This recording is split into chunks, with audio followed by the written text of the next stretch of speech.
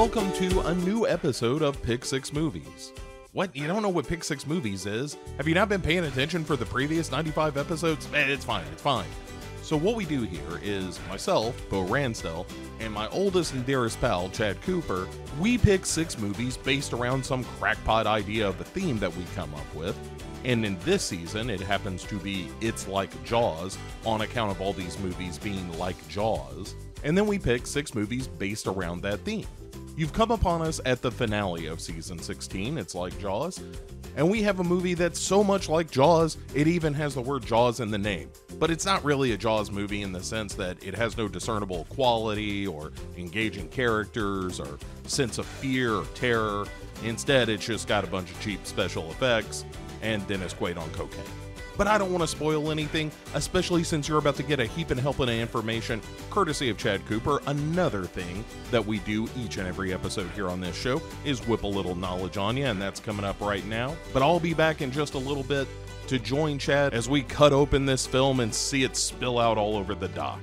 Thanks for joining us. Enjoy the season finale of season 16 of Pick Six Movies. It's like Jaws. We get a lot of email and letters here at Pick Six Movies, and our communications team tries to answer each and every one of them with a computer generated form letter response. But every now and again, Bo and I dive into the Pick Six Movies email bag to answer some of the questions that come from you, our listeners. So I thought it'd be fun to dive in, pick a few, and answer them as part of the introduction. Let's see what we have. Dear Pick Six Movies, how do you come up with each season's theme? Sincerely, Nicholas. Well, Nicholas, Bo and I walk into the woods and meditate for an hour or two, and then we emerge from our state of contemplation and we come up with a goofy title, usually with a pun or some terrible wordplay, and then we try to find six movies that all relate to that goofy title. Thanks for writing in. Let's take a look at another, shall we? Dear Bo and Chad, my name is Amy, and I look forward to your podcast every other week. Oh, thanks, Amy. You are both so funny. Are you as insightful and hilarious in person? Thanks, your loyal listener, Amy. The truth is, Amy, we have a team of researchers and writers on staff that all contribute to work to make this show happen. So Bo and I only have to give about 30% of our natural intellect and hilarity to the show. So if you were to ever meet us in real life, we will be measurably more insightful and hilarious than we are on this podcast. Thanks for writing. Let's look at another, shall we? Dear Pick Six Movies, where are your headquarters located? I looked at your website and didn't see a mailing address. I would like to apply for an internship next semester. Sincerely, Alex, a future hopeful P6M intern. Well, Pick Six Movies has offices both on the East Coast and now on the West Coast. And we also use production facilities in Chicago, Nashville, and on occasion in Miami to record or do some post production work. Now, as far as the internships goes, I have no idea how that process works. All I know is that every season a new intern shows up to help us do what we do here, which, by the way, hello to Marcel, the intern who rarely, if ever, talks. Let's move on, shall we? Dear Pick Six Movies, you two pretend to know a whole lot about a lot of things, and I have some questions for you. How did the 1983 film Jaws 3D ever get made? How does 3D work? And why does the popularity of 3D movies seem to come and go every 10 or 20 years? Sincerely, Sleepless in Secaucus. Whoa, what a stroke of serendipity that I would randomly open this email on this week of all weeks. Sleepless in Secaucus? I'll take your second question first, third question second, and first question last. Let's begin, shall we? How exactly do 3D movies work? Well, 3D movies are an optical illusion where your brain takes two different images and combines them into one image with a sense of depth perception, thus making them look three dimensional. In the real world, your brain does this naturally. Here's a quick experiment look at something sitting nearby. Hold up your phone or look at an empty big gulp cup. Now close one eye, now open that eye and close the other eye. Now go back to the first eye and then the second eye. You see how that object kind of shifts a little bit to the left and the right? Well, this shift in object location is called stereoscopic vision. Your brain takes these two images seen by both of your eyes and it combines them into one image, thus creating a sense of depth perception, and you can better judge how far an object is away from you. Did you ever wonder why it was so easy to beat Sammy Davis Jr., Peter Falk, Johnny Depp, or author of The Color Purple Alice Walker at a game of darts? Well, it's because each of them are blind in one eye. 3D movies accomplish the same optical illusion by projecting two images simultaneously one that your left eye can see and one that your right eye can see, and your brain steps in and does the rest. For your grandparents, 3D movies were projected with a red version and a separate blue version of the film shown at the same time, each with offset images from one another. When you put on the cardboard glasses that were given to you at the movie theater, there was a red and blue filter on each lens, and each of your eyes was capable of just seeing the image filtered through each of these pieces of cheap plastic. When the parts of the movie that were meant to be shown in 3D, they were shot separately through two different lenses, just like the eyes in your head. Using this technology from the mid 20th century, the quality of the film's color was pretty terrible because it was filtered through all this red and blue nonsense. If you've seen a 3D movie in the last 15 years, you may have noticed that the days of the red and blue lenses are long gone and what you now get are gray glasses. This uses the the same technique, but it leverages polarized light over colored light. The glasses used today have polarizing lenses that allow each eye to see two separate images through different polarizing filters. The glasses that are handed out at theaters have a different polarizing filter on each eye, which only passes through light that enables the audience member to view each image separately. Your brain takes those two images, combines them into one, and bingo bango, we got ourselves a bona fide 3D movie. Let's move on to question number two. Why does the popularity of 3D movies seem to come and go every 10 or 20 years? That's an easy one, because movie makers need a gimmick to get people into movie theaters.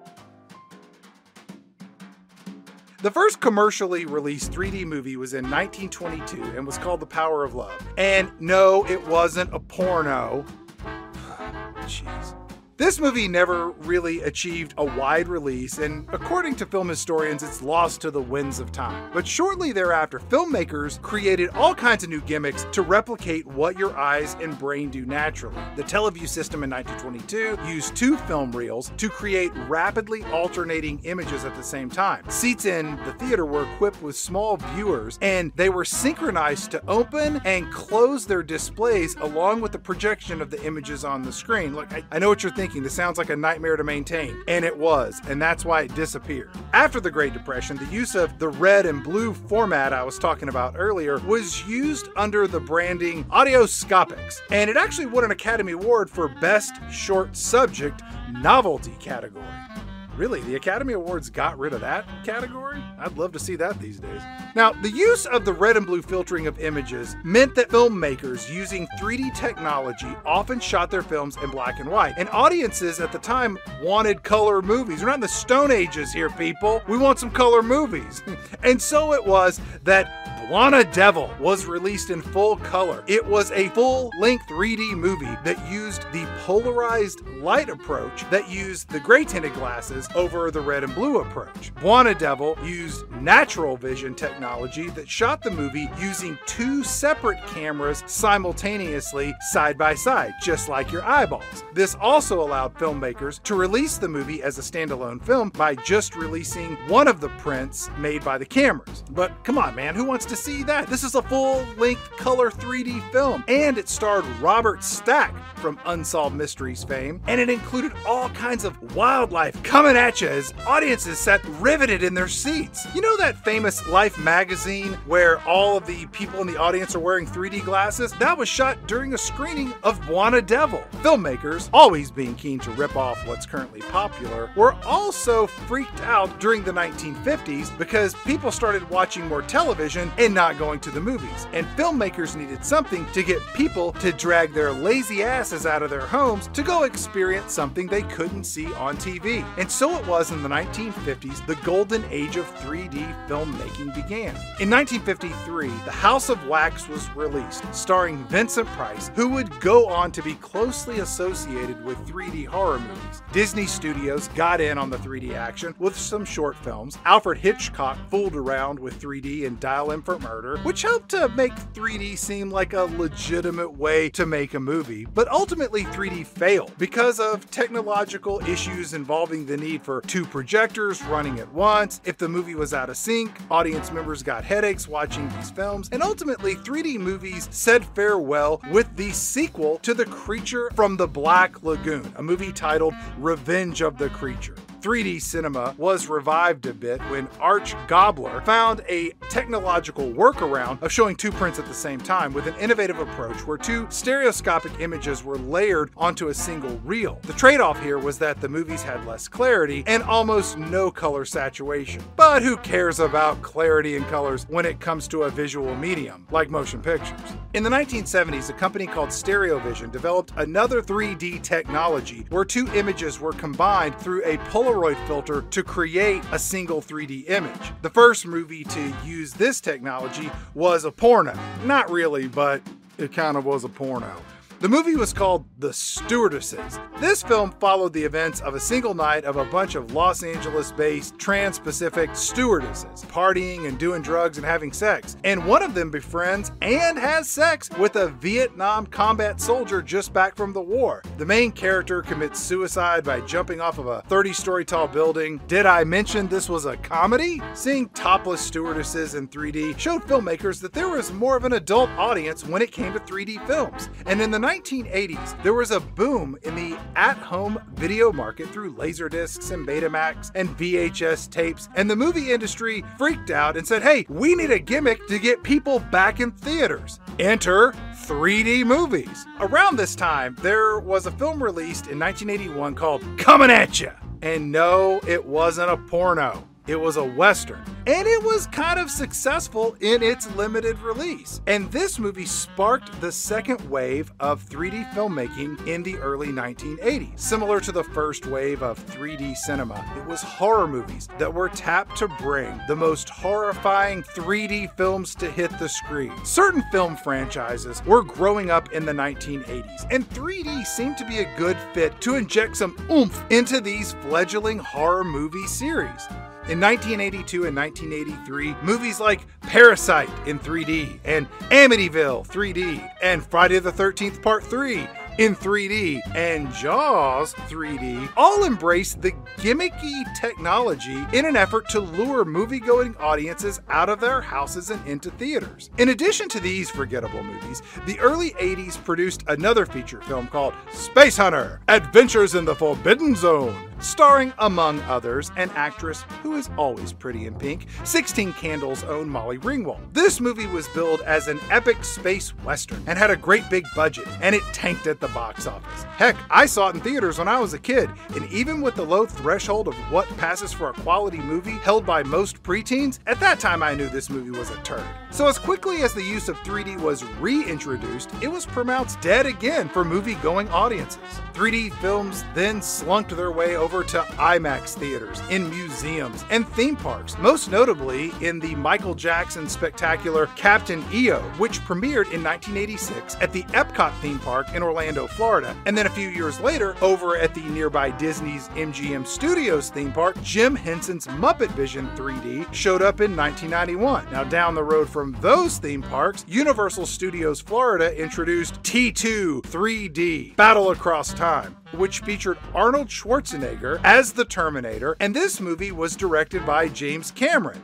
Can you guess where all this is going? A few years later, James Cameron made a little movie called Titanic. Maybe uh, heard of it? This epic spectacular and Cameron's work on The Abyss introduced James Cameron to the world below the waves, and Cameron subsequently made a documentary film called Ghost of the Abyss, which explored the underwater wreckage of the RMS Titanic in 3D. And the success of this documentary led Robert Rodriguez to think, hey, I got a third Spy Kids movie coming out. What if I made that in 3D? Sure enough, that's what he did. Spy Kids 3D Game Over came out in theaters and it did alright at the box office. But it was the 3D IMAX version of the holiday classic, The Polar Express, released in 2004, that really set the third revival of 3D movies in motion.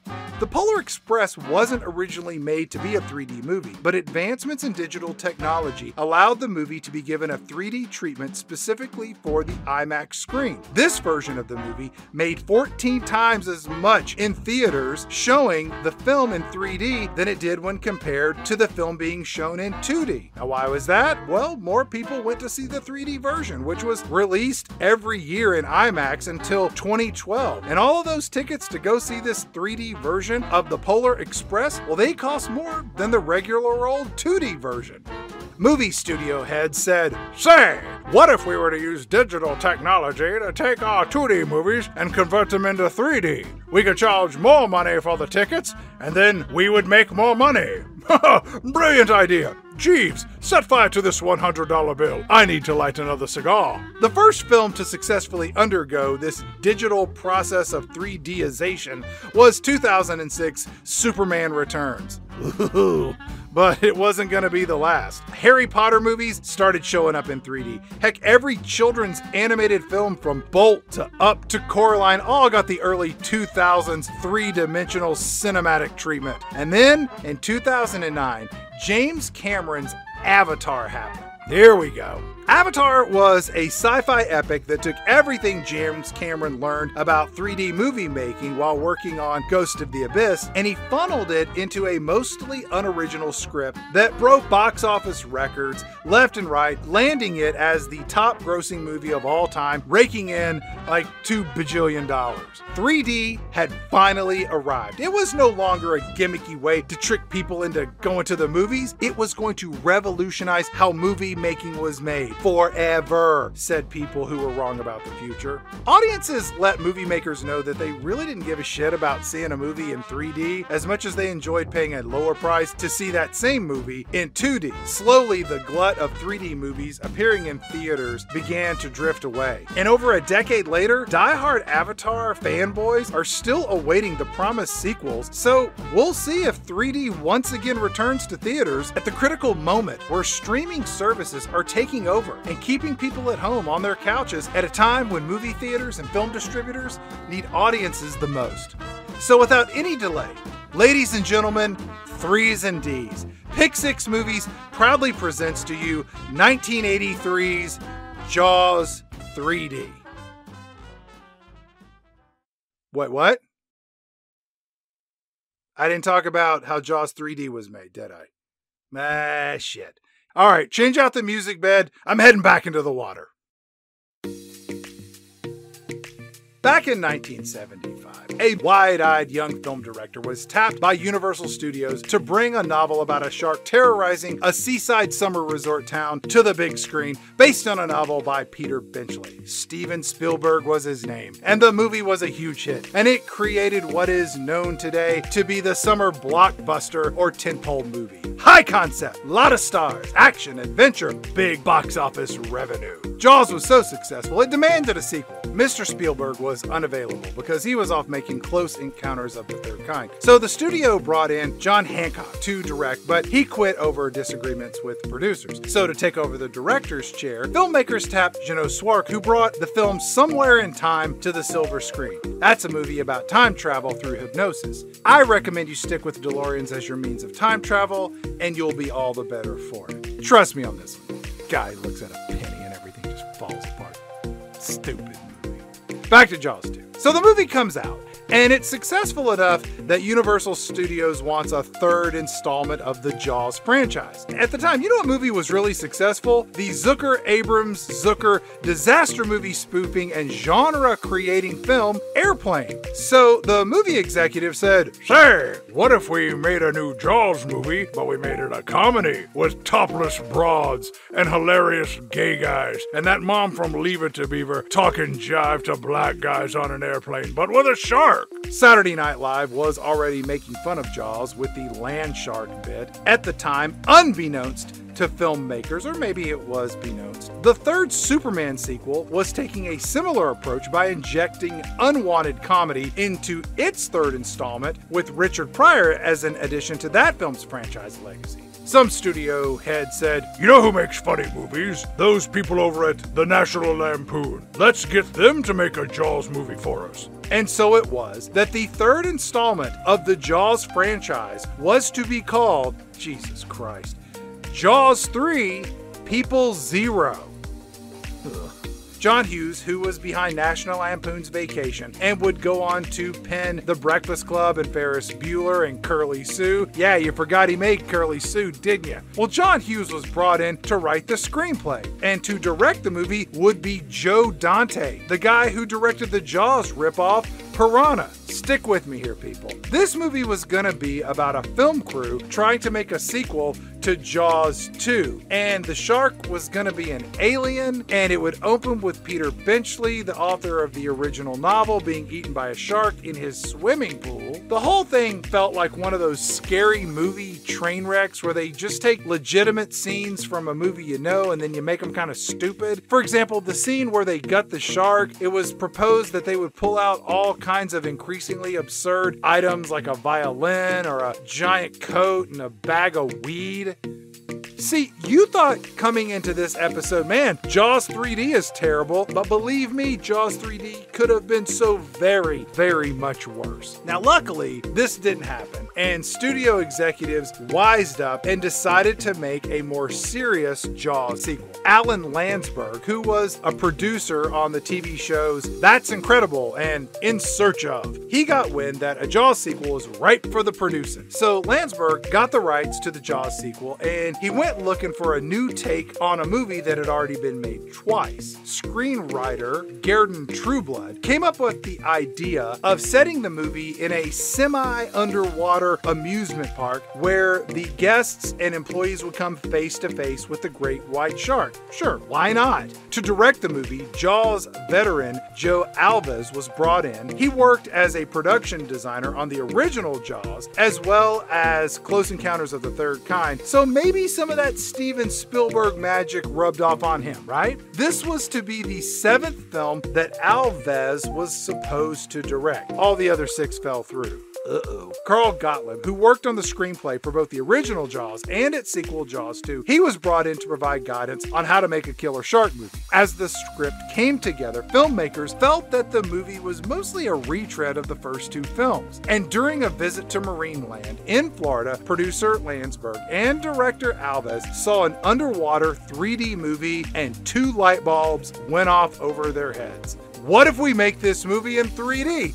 It'll be a game changer. They went to the Universal Studio executives and they loved it so much they pretended it wasn't their idea in the first place. At the time, there were a few options on how you could make a 3D movie. Could use color glasses or polarized glasses. There were decisions that had to be made around do you shoot it with one camera? Do you shoot it with two cameras at the same time? Alves, the film's director, he felt that 3D was a tool and he took a practical approach to using the means of filmmaking as a form of artistic expression. At the time, Alves said, I don't want Jaws 3D to be thought of as just another uh, 3D flick. I think it can hold up as a flat film, since it was around that concept for a long time before we went 3D. And I can see why he said that. At the time, 3D movies were filled with stupid gimmicks, and there was no way that Alves' vision of a Jaws sequel would stoop to such pedestrian visual nonsense.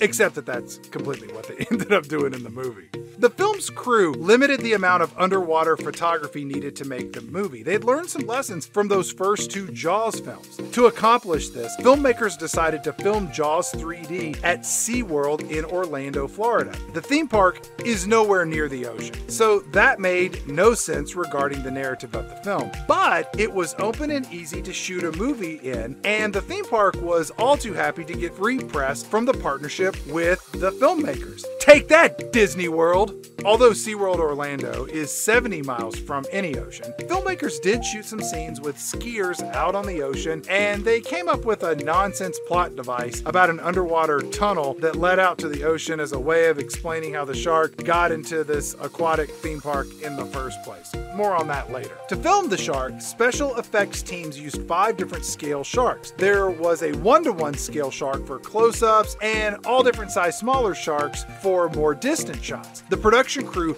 built a circular tank at SeaWorld for up close shots with round portholes through which underwater action could be filmed from outside. This tank had walls 26 feet tall, and entire sets could be lowered into the water for filming. Pretty clever. Now, the narrative of Jaws 3D was tied to the first two movies, and it featured the grown up sons of Chief Brody. Dennis Quaid played the older brother, Mike Brody. Quaid later admitted in interviews that he was out of his mind on cocaine during pretty much the entire filming of this movie. That's fun.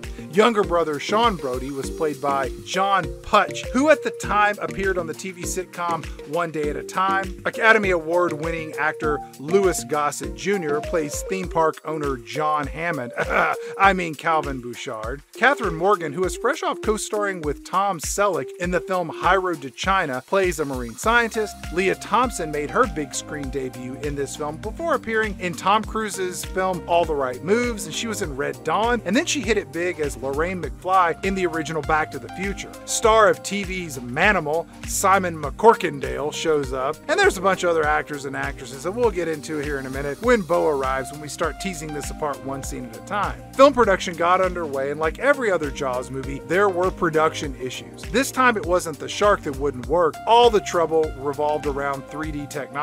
The filmmakers decided to use the ArriVision 3D system to make their movie, but it wasn't ready for delivery at the time of production start. So the filmmakers called up StereoVision to see if they had a 3D lens that they could use to make their movie. Yes, StereoVision had something they could use. So the filmmakers shot with StereoVision for one week, but then the ArriVision rig showed up in week two. So everybody had to be retrained on how to use the new technology. And nobody on the crew had any experience working with 3D technology. Cameraman Jim Contner, he worked on Jaws as a camera operator, and he later went on to serve as the director of photography on the film Cruising.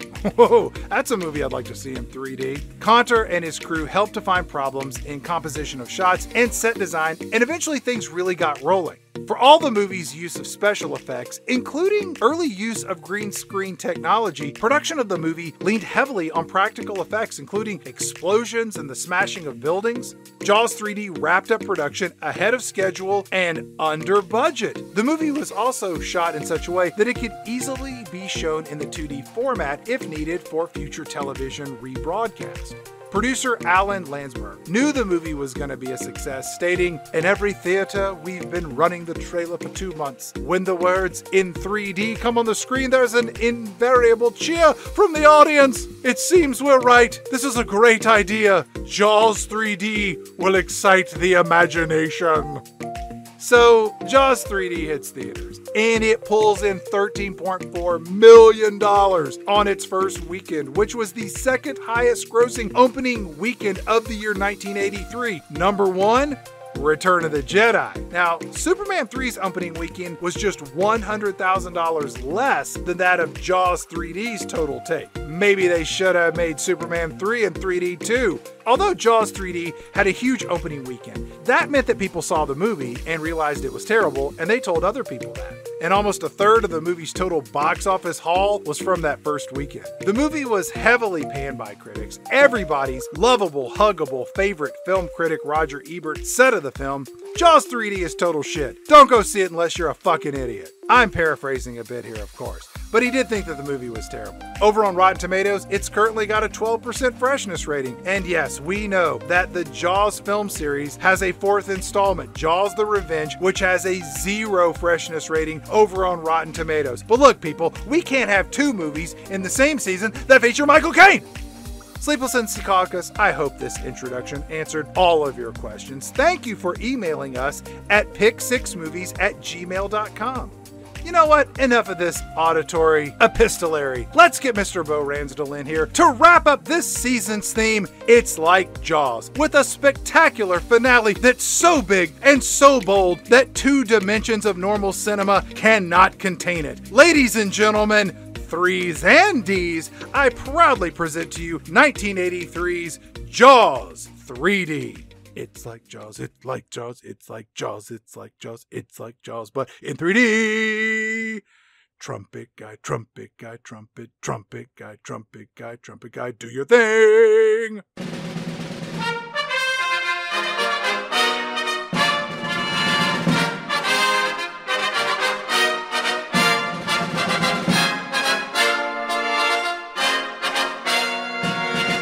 And welcome to Pick Six Movies. I'm Chad Cooper, and I am joined with my multi talented, multifaceted, multi dimensional co host, Mr. Bo Ransdell. Bo, how are you doing this evening for the season finale of season 16's theme? It's like Jaws. I'm telling you, season finale time is always a big deal around here. In case you skipped the brilliant introduction that I did. This is our season finale, and we are featuring Jaws 3 in 3D. It's not Jaws 3D. That never happened to the best of my knowledge. Bo, do you like 3D movies? I do, actually. I do not.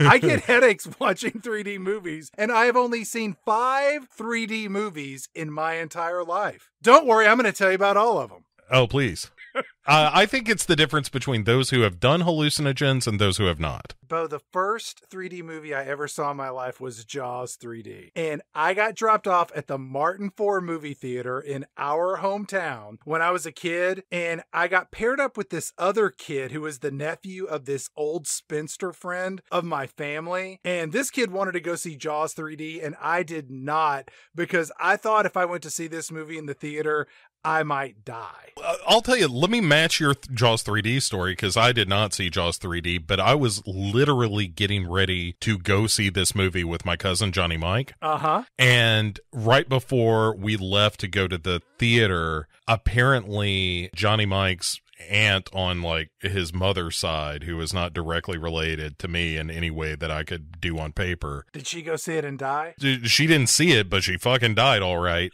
And that ruined the movie for me. So I never got to go see Jaws 3D, which in retrospect I owe that woman a great deal of things. When I went to see this movie, it was opening weekend, and the line stretched from the movie theater through the entire parking lot all the way down to the white trash video game arcade known as Funland in our hometown, where every video game cabinet came with four to six caramel and black cigarette burns on the console to give it that mwah, authentic look of thugs were here. What are you not gonna smoke and play Miss Pac-Man? you crazy? Every town in America had a Funland or a Funland equivalent. It was accompanied by a hastily constructed nine hole mini golf course and two batting cages that were never both operating at the same time. I think Funland only had an eight hole golf course, if memory serves. Just do number eight twice and bring me the ball. Turn the six upside down when you go back through. I think our Funland on Friday and Saturday nights only allowed people 18 and up to enter this fine establishment because of the flagrant display of low life goals. Low lifery, I think it is how that's called by the hoi polloi. Sucking all chili dogs outside the Tastee Freez. Yeah, it, like it's a John Mellencamp song if there were more methamphetamines and fingering. Yeah, this was where people went and sold shit weed, and teenage girls made terrible choices in who they should let impregnate them. And guys would show up on ninja motorcycles with their custom pool cues to show off their color of money impressions. It's in the way that you move it. So I mentioned I saw Jaws 3D. I also saw Space Hunter 3D, which I may have seen in the theater with you. Maybe, but I would also wager I've never seen that movie. It, it's one or the other. We saw it together. I've never seen it. Years later, I accidentally saw Monster House in 3D, but I didn't know I was seeing it in 3D until I paid for my ticket. And then they handed me the glasses and I went to the theater, and that was entertaining enough. And then I saw Avatar, and then Bo. I saw the greatest movie ever made in 3D. Jackass 3D. Yeah. I, took I mean, I took the day off of work and went to a 2 p.m. afternoon matinee with my wife while our son was in daycare for an extra hour so we could see Jackass 3D. And it was fantastic. That is a movie that got 3D right. I really like this image I have of you like, suck it, Mr. Hodgson. I'm taking off early today. I got some jackass to watch. There was a dildo bazooka in it. I mean, hard to argue. See naked penises that almost fall right in your lap. See those rubber dildos coming right at you. No, you'll never see hideous effects like these again. till we bring you Jackass 3D Part 2. Well played, sir. See what I did there? I turned the tables on Mr. Weird Al Yankovic, where I took one of his original songs, Nature Trail to Hell, and I applied my own hilarious alternative lyrics. It's good that somebody's finally taken that guy down a peg. My dad had a porno magazine that had a 3D layout in it that came with glasses. And the guy in the layout was like this John Holmes character, some guy with this frighteningly enormous penis. And when you put the glasses on, the penis just came off the page. Not literally, but you get the idea. because it was so well written. It really just came to life. It's just this giant horse cock of a guy. I was like, well, I didn't know 3D work. Whoa! It was like reading Pat Conroy, just leapt off the page. So vivid was it. Are there any 3D movies that you wish you had seen in the theater but did not? Or if they were going to be reissued in 3D on the big screen, that you would want to go and experience them in the third dimension? Yeah, probably. I don't know that I saw Final Destination 5 in the theater. I didn't know it's a thing, but okay. but it was in 3D uh, in the the last wave of 3D movies, and that was a movie that got 3D right. I, I probably would have enjoyed seeing that with a crowd. You know, for nostalgia's sake, I'd love to see the original House of Wax in 3D in a theater with a crowd of people. Uh, that'd be a good time. I think Life of Pi was one of those movies that really embraced 3D as an artistic contribution to the storytelling. I think Friday the 13th, part three in 3D would be fun. I gotta stop you on the Friday the 13th part three. Chad. That movie should be destroyed for no other reason than the uh, character by the name of Shelley in that film. I love Shelley. That is one of the most irritating characters in film history. I hate that character so, so much. He's so desperate. It's awful. And, and people will tell you, Chad, hey, Shelly is the guy what gave Jason Voorhees the hockey mask. And they're right. And I would say that is too high a price to pay for the iconic hockey mask. You know, another movie that I would go see just out of curiosity that was made in 3D, Robert Zemeckis made a movie called The Walk, which was a remake of the documentary about Philippe Petit's 1974 high wire walk between the Twin Towers. That's a really good documentary. And I think that Zemeckis does a good job playing with new forms of technology and filmmaking. And to see that film in 3D the way that he was having a good time with it, I think would be interesting. I have a now non functional, sadly, 3D television. I was one of those suckers. I did have a 3D television and I really enjoyed it. Uh, it was the active glasses that were battery powered and whatnot. Okay. That was a lot of fun. Like, I have a lot of those Marvel movies in 3D as a result of that. Did you ever watch porno in 3D? Um, no, I didn't know that. Eh, Like, That sounds like a yes. did I ever? yes.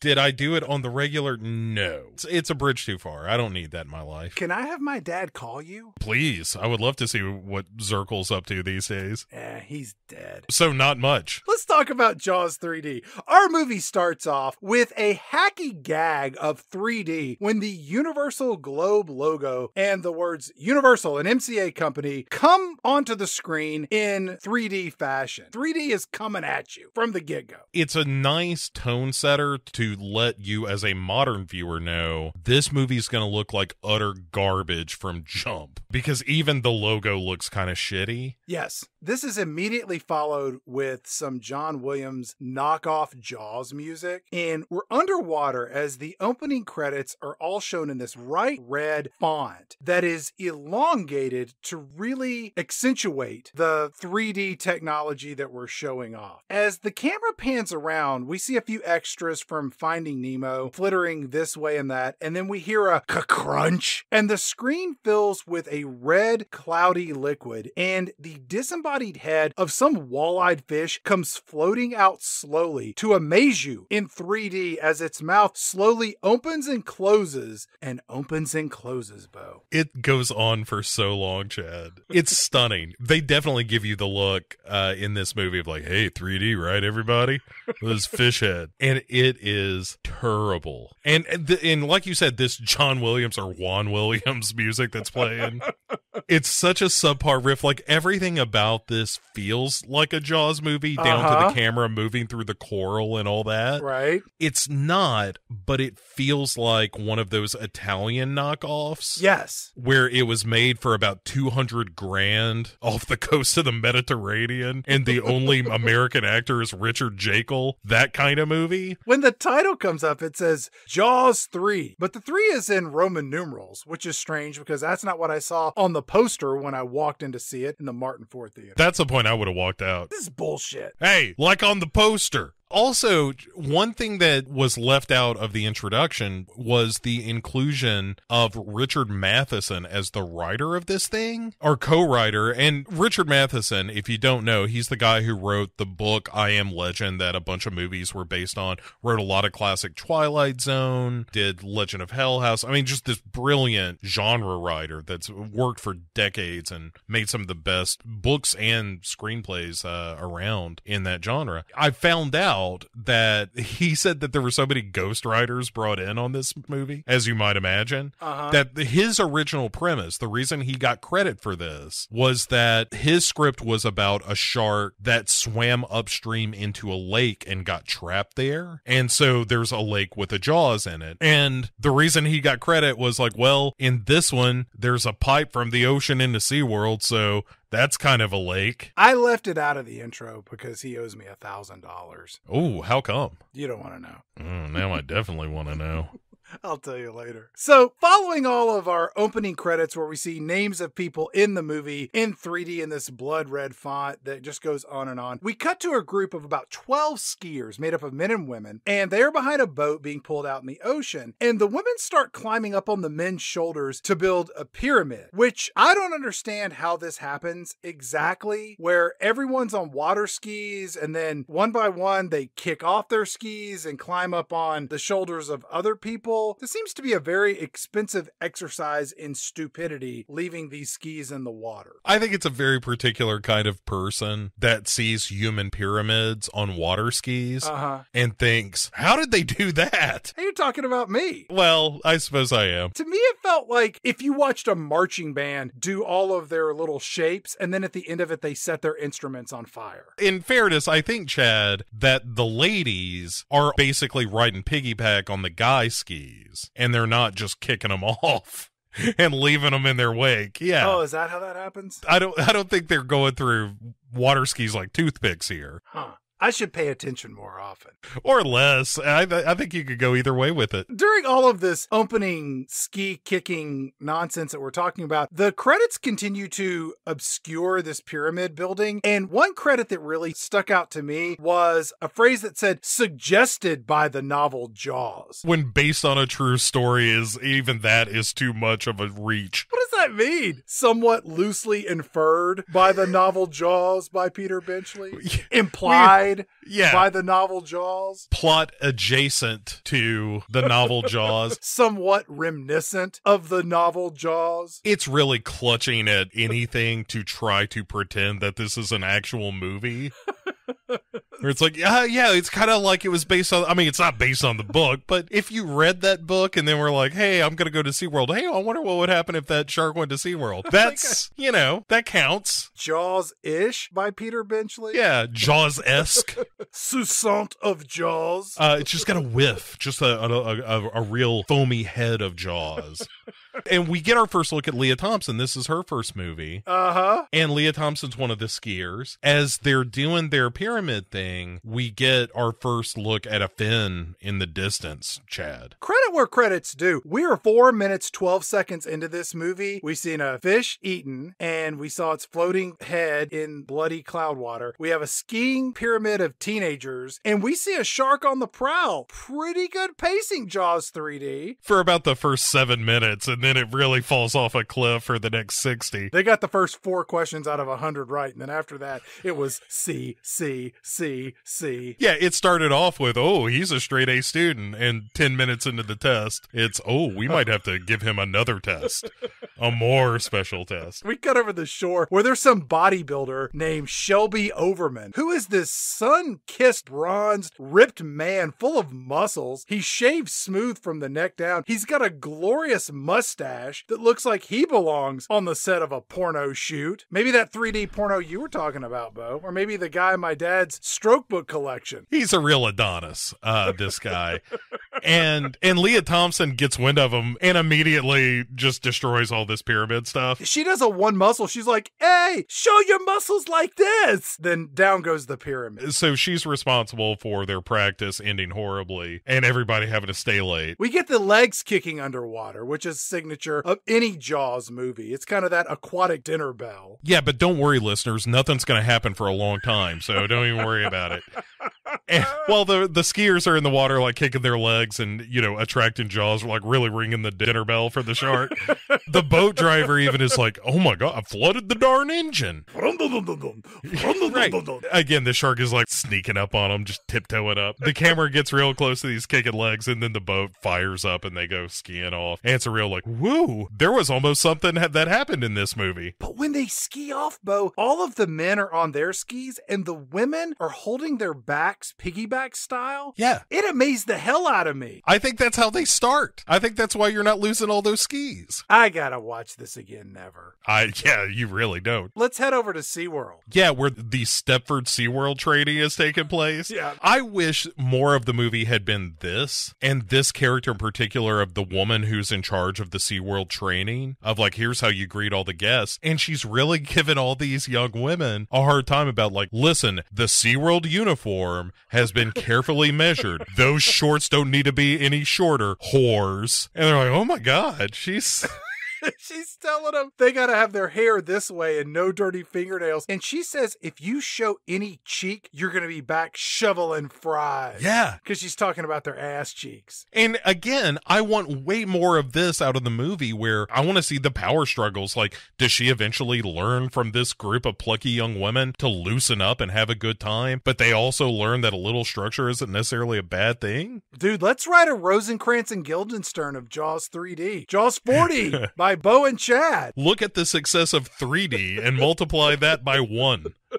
So all these girls giggle, and none of this matters at all. The camera pans over to some skinny comb over stiff, and he's holding an intimate press conference showing the lay of the land where this new attraction, Undersea Kingdom, is going to debut at SeaWorld. It costs $34 million, which in modern day bucks, it's about $100 million which I have no idea if that's a lot of money or not. I mean, it's more than I got, but I don't know if building something like this is that's a big. I don't think a hundred million dollars gets them there, but it's also why this thing falls apart immediately it's upon. Pretty shoddy. Yeah. So if you've never seen this movie, which is pretty much everybody, here's the lay of the land for this undersea kingdom. There is a circular hub, and there are four arms that stick out of it, so that people can go underwater and look at stuff that's sunk. It sounds fantastically boring if you ask me. Well, it's got an undersea haunted house, which we get a glimpse of for a second. I guess. It's got the Neptune room, which is the restaurant and bar. And then there's the observation stuff. And it's fine. I mean, maybe this is just what a 100 million gets you, right? There's a sunken Spanish galleon that they've built there to draw the eye, I suppose. It's 40 feet underwater. That doesn't seem like that big of a deal. Well, of course not. Because again, if this thing goes belly up, which it's gonna for a hundred million dollars that you've got to be able to get to the surface quick. You don't want anybody swimming up after this thing buckles under the pressures of 40 feet of water that they could swim to the surface you know? We cut over to Louis gossett jr who has some binoculars and he's peeping on some people. Turns out he's peeping on the water skiers making the pyramid from earlier but still kind of a pervert move. Oh oh yeah look at here. It's just like john larroquette in that movie stripes. Oh boy i want to see them girls on the skis. The movie cuts back to the ocean and we see the dorsal fin appear again. And this is Jaws 3D. And the shark's like, "Hey everybody, it's me, Jaws 3D, the star of the movie. I'm like the original Jaws, but in 3D and more unwatchable." It, it is unwatchable. The gate that they're trying to close Uh-huh. gets stuck because Jaws 3D is trying to get in there. Keep it open. I need to get through here. A broken gate is a shark's best friend. Brutus the Barber Beefcake here is trying to close this gate, and he's like, I guess it's stuck. And finally, Jaws 3D slips through. Like, Kathunk. What stupid son of a bitch closed this gate while I was trying to get into the lagoon to eat those people? Yeah, great. and immediately they turn on this Shelby guy, and they're like, Hey, didn't you say you fixed this? And he's like, I did. I did fix this, but I don't know. Maybe it hit a Jaws 3D or something. And I'm like, You're dumbass. No, it didn't.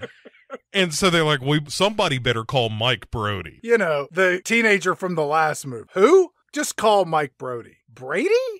Brody. Who?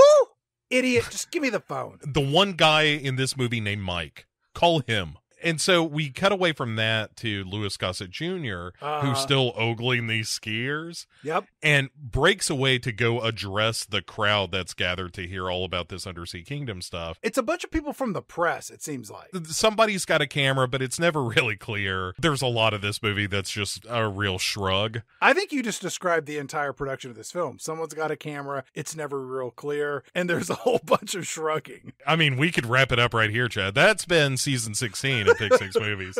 No, but Louis Gossett Jr. kind of strolls into this crowd and takes over. He does. He holds court. You see them girls on skis? Oh, he, I love them so much. Mr. Phillips Fitzroy's gonna be here a little bit later today. He gonna stir some shit up. Philly Fitzroy's Philly Fitz, the one and only. He gonna be here. Who wants free drinks at the bar? Huh? Who wants to get drunk? They free? Follow me, you bunch of news hound buzzards. I know you boys want a day drink. Come on now. So all these reporters who are just a bunch of notoriously alcoholic day drinkers, they all gleefully follow along, happy in the knowledge that they're soon going to be drunk and having sex with a stranger. Probably somebody else in the press corps. We cut back over to the underwater gate that got smashed when Jaws 3D ran into it. And a bunch of divers, they're there, and Michael Brody shows up, and they have to give him the bad news that the gate got busted. Mike Brody, of course, is Dennis Quaid in this movie Yes. and is just a jerk from jump. He's like, hey, uh, what happened here? Uh, I'm just, I thought you fixed this. It's bu- wait, it's busted. It's busted. Who, who broke this? Who's gonna fix it? Is anybody here thirsty? I'm thirsty. Who wants something to drink? I'm gonna go get something to drink. Who wants some coke? Who wants a coke? A coke. A coke. Coca Cola. I'm thirsty. You thirsty? You know, what? I'm gonna get on this jet ski. I'll be back later with some coke for all of us, but mostly me. Bye. The real standout of this scene to me is the fact they're like, hey, all right, well, if we fix this gate, that's going to take some overtime. And he's like, no, no, no, no, there's no overtime. No, no, no, no. None. None. Uh, none. You already uh, worked plenty of overtime. Uh, you got all the overtime you need. Everybody got some overtime. Uh, anyway, jet ski. See you guys later. And the j- jet ski, by the way, the Segway of the sea in this movie, Uh huh. where it's just step on, go to the next scene. I really like it. When it cuts to the other side of the lagoon where Dennis Quaid arrives on this jet ski, he hops off onto the dock and he just tosses the jet ski in the water. It's like a kid tossing his bike on the front lawn. Eh, somebody else will take care of that shit. Hey, guess what, Kathy? I'm home. I, I came over on the jet ski. Where'd I leave it? Who knows? Who, who's asking? I mean, it's so weird that you would ask me about that right now. Quaid hops onto the dock. He's like, my heart is racing. Does anybody else have a joint or a high life to help me calm my nerves? No, you know what? I'm going to go ask my girlfriend. You know, she's a doctor. And he, she's an ocean doctor, and she, she can't write prescriptions for people, but she can get her hands on dolphin tranquilizers. Boy, they pack a punch. Hey, where's my girlfriend? I'm going to go find her now. Did I mention that she's a doctor? See you later. Bye. His girlfriend, Kathy, is her name in this movie. Uh huh. She is a biologist and one presumes sort of a head trainer or something here. She's a bikini supermodel astrophysicist, yes. right? And she is hanging out with Cindy and Sandy, the dolphins. Uh huh. And gives them a little fat shaming here where she's like, oh boy, they're really getting tubby. How about you take them out to the lagoon? They don't want to go? Well, Get these fat bastards in there. I don't care what they say. They need to take some laps. But why do women do this? Why are they constantly judging each other's physical appearance? Why can't women support one another and quit being so judgmental? Even if those other women are dolphins. It's a real bummer to see them really go after after each other like this. But in fairness, as we will discover soon in the movie, these dolphins are kind of jerks. And also, Kathy is played by Bess Armstrong, who is one of those actresses that looks like a whole bunch of other people. Because when I watched this movie, I kept thinking, hey, is that the mom from Child's Play? Hey, was she in a Nightmare on Elm Street movie? Hey, is that Audrey from Little Shop of Horrors? I'm not saying that all short hair blonde women from the early 1980s look alike, but Bo, they all kind of look alike. Hollywood had a type for a while. Am, am I wrong? No, you're not wrong. There was that kind of California blonde beauty that was from like 1979 to 1990. That was every movie. Like your Courtney Thorne Smiths, your Jennifer Jason Lees, who, by the way, tried out for the role that Lea Thompson got and didn't get it. Good for her. Boy, that had to be some sweat off the brow. What what was I in? Fast Times? Yeah, you can just take Jaws 3 and stuff it. And so Kathy, after putting these fat dolphins into the lagoon, She does. She calls them fat lards. I think maybe they've been depressed, but that's still no excuse. No, it's because they're really packing on the pounds. These are show dolphins, okay? I'm I'm not here to study them. And if they're too fat to jump through a flaming hoop, then what use are they to me? We're about to have some tuna safe dolphin, if you know what I'm saying. Dennis Quaid comes over and he says, Hey, Kathy, let's go have dinner tonight with my younger brother Sean, who's visiting from Colorado. He was in the first two Jaws movies, but we won't talk too much about him in this movie. Hey, do you have any cocaine or maybe some of that flipper fentanyl? You know how you mix that up that one time? Do you have any of that? Do you have any of that? Do you have any of that? You know, you are such a card, but you know that the last time all all those dolphin uppers went missing, they came to talk to me first. Look at this, look at this, look at this. I'm going to take off my shirt. Look, you can see my heart. You can see my heart in my chest. Look, oh my God, oh my God, oh my God. You can see it beating. Oh my God, oh my God. Oh, you can. That is so interesting. How do you do that? This nameless female trainer comes over and she tells Kathy, Hey, Kathy, Cindy and Sandy don't want to go out in the lagoon and exercise. They're just sitting around eating more frosting right out of the can. we got some Oreos too.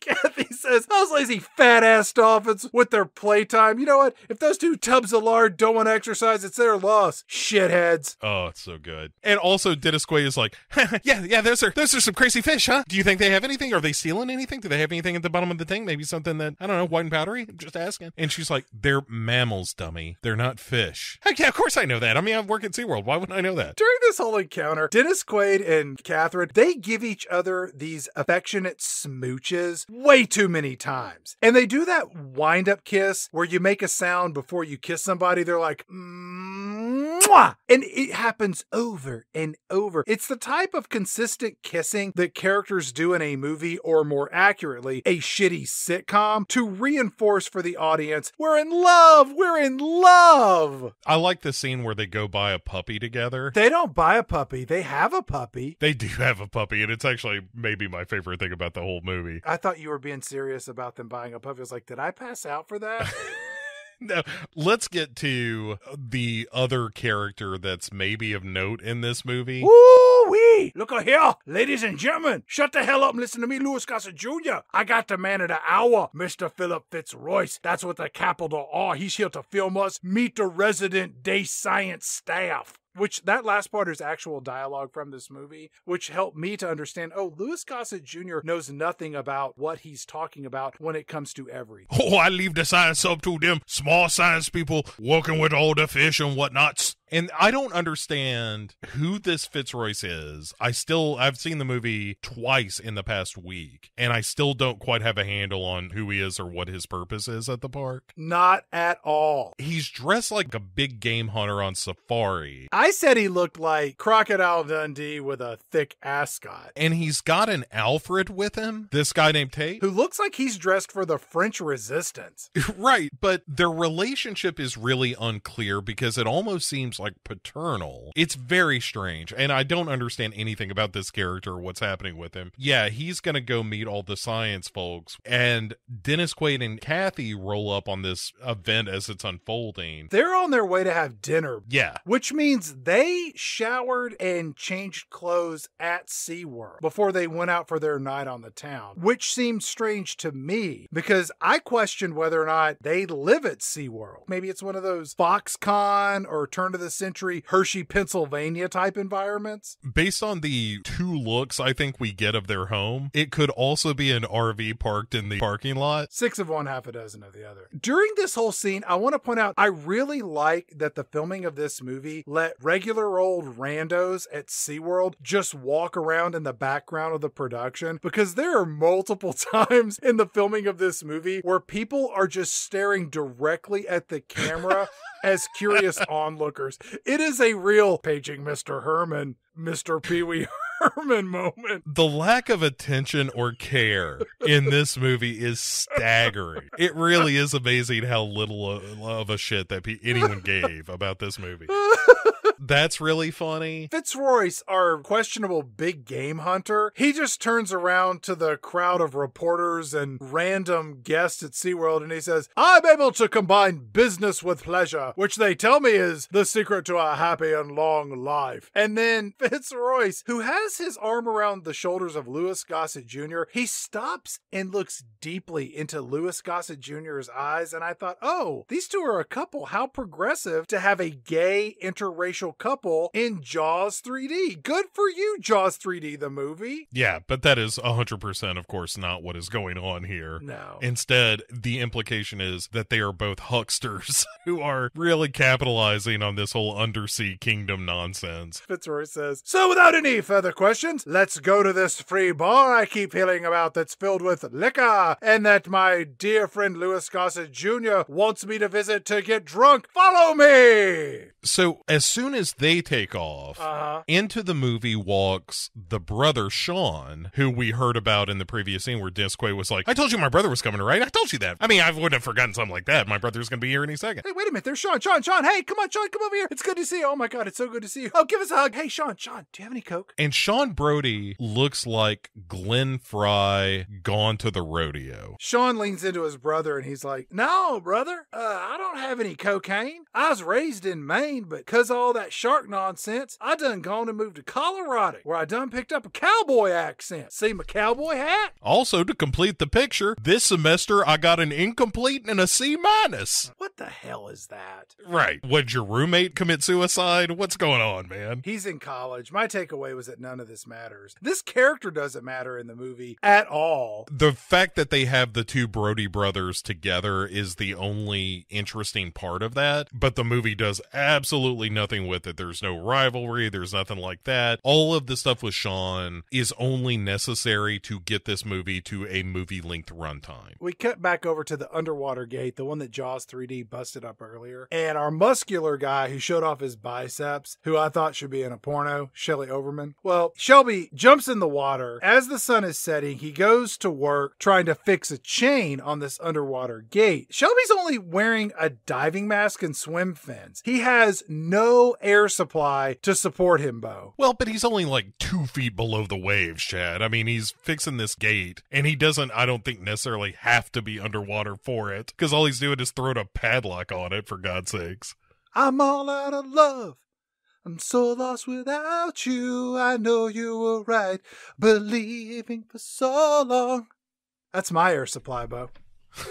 that That's horrifying. More so than anything in this movie. So Shelby Overman is underwater, and it's kind of dark, and he's futzing with this chain. He gets spooked by fish. A real jokester taps him on the shoulder. He's like, "What's up? Oh my god!" It's very funny. I love it in any movie, and it, it happens a lot in shark movies, I've seen a, a ton of these where somebody gets spooked underwater when a fish goes by. It's like you're in the ocean, you're surrounded by fish. Jesus Christ! I thought I was gonna die. If you have some ichthyophobia, then what are you doing here in the first place? If you're going to get spooked every time a goldfish goes by, you don't belong at SeaWorld at all. Shelly Overman. He's down there working on the chain, and then Jaws 3D sneaks up on him and eats Shelby Overman. Surprise! It's me, Jaws 3D, star in the movie. Chop, chop, chop. Oh, look, I let one of your arms float away. You know what? I'm not in the movie very much, but I just want to let you know when I am on screen, it really matters. I told my shark agent I've only gonna be on set for maybe three days. And he said that was fine. He'd read the script and they could insert a smaller shark for much of the action. So, goodbye for now. I got out of bed and I need to put on my face and then I'll be ready for the cameras. Diamonds are a girl's best friend. So, Jaws 3D tries to bust out to get to the ocean. I got one in the oven. And the gate, because it's been recently padlocked, holds. I've seen this movie now three times. I didn't even understand that Jaws 3D is in the tunnel and they closed it. And then you're telling me that Jaws 3D has the baby shark in the lagoon or. Yeah, they explicitly, like, this is. They hypothesize about that, but they don't explicitly say this is what happened. there is so much like vagary and obscure obfuscation Uh-huh. of the the essential elements of this movie that even when a character theorizes like I think that mama shark had a baby shark inside the lagoon Uh-huh. I'm like that is gospel 100% that's how it happened because at least it's somebody explaining what happened at some point Let's cut over to this honky tonk where Dennis Quaid, his overly affectionate girlfriend Catherine, and Sean the younger brother are drinking what else in the year 1983? Michelob beer. yeah it's a real special occasion There's a lot to unpack in this bar. First off, it's the kind of bar where the bartender slides an unopened beer down the bar to a customer sitting at the far end of the bar. Bo, I bartended for many years. This happened exactly zero times in all of the years that I slung drinks. yeah I think I probably bartended about that long and I tried it one time And it went disastrous. Well, sure, I broke a beer bottle and nobody got what they wanted, and it was really unfortunate. this waitress in this bar, she's dressed up in this pink and black zebra striped shirt. She's wearing tight black pants and one of those rolled headbands that was normally part of a jazzercise or sweating to the oldies outfit. And our waitress, her name is Charlene, and she walks through the bar where behind her we see the early stages of what I thought was a catfight or maybe a lesbian kissing scene going on, where we see two women playfully or slightly aggressively slapping and pushing each other as onlookers in a semicircle do nothing to discourage this behavior. It turns out they're playing a game called Standoff that we will talk about a bit more in a moment. But it still won't matter even then. No, This waitress, Charlene, which by the way, I did not realize her name was Charlene. Charlene goes to this table where our heroes are getting loaded, and she's like, that man of mine, Shelby, you seen him? He's supposed to be here uh, an hour ago, and I ain't seen him nowhere. And Disco's like, what? What? Why would I ever seen him? What I did? Oh, oh yeah, he works for me. Shelby works for me. That's right. That's right. Uh, yeah, I told him that he was gonna fix a gate. Yeah, he's fixing a gate. That's all. It's no big deal. Look at here. You tell him if I find out that he is screwing that bitch at the souvenir stand, I'm gonna beat his ass. Tell him that for me. Charlene from the Busted Barnacle Saloon. He's got an ass beating coming. Dennis Quaid. her implication of their relationship is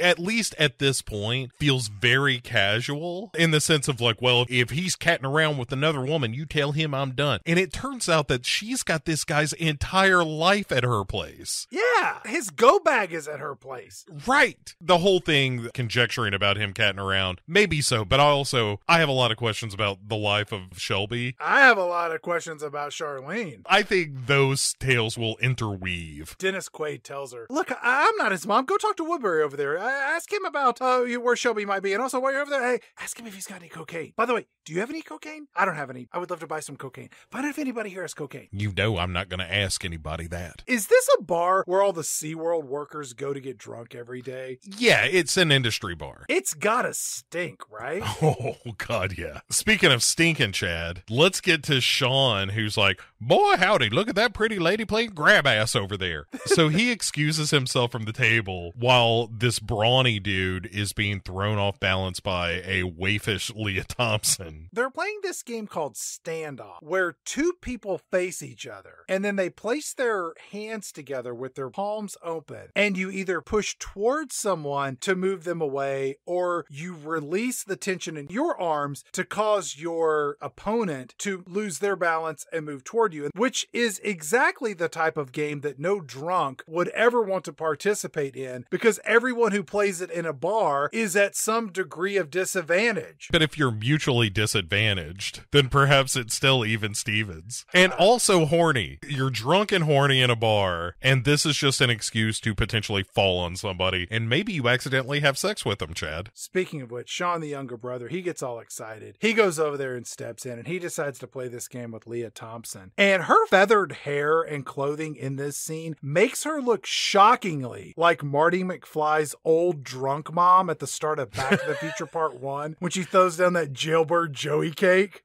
Uh huh. Maybe next time. Lea Thompson says, This game, standoff, is for beers. I'm like, oh, so that's how she supports her alcoholism by being the most stable drunk in the bar. See, I don't know if it's alcoholism if you're in your 20s. Maybe it is, but it also feels just like being like 22. Sean and Lea Thompson start playing this rivetingly suspenseful game of last drunk standing. And as the tension comes to a yawn bow, Sean says, Uh oh, young missy, seems my fly's open, and if you look down, you can see my pecker. So Lea Thompson looks down to see if she can see this guy's cock. And it turns out this wasn't true. It was just a trick. And Lea Thompson is off her game. And so Sean pushes Lea Thompson back and he wins the game. Free beers. And most importantly, Lea Thompson has given him his heart all in one move. Oh.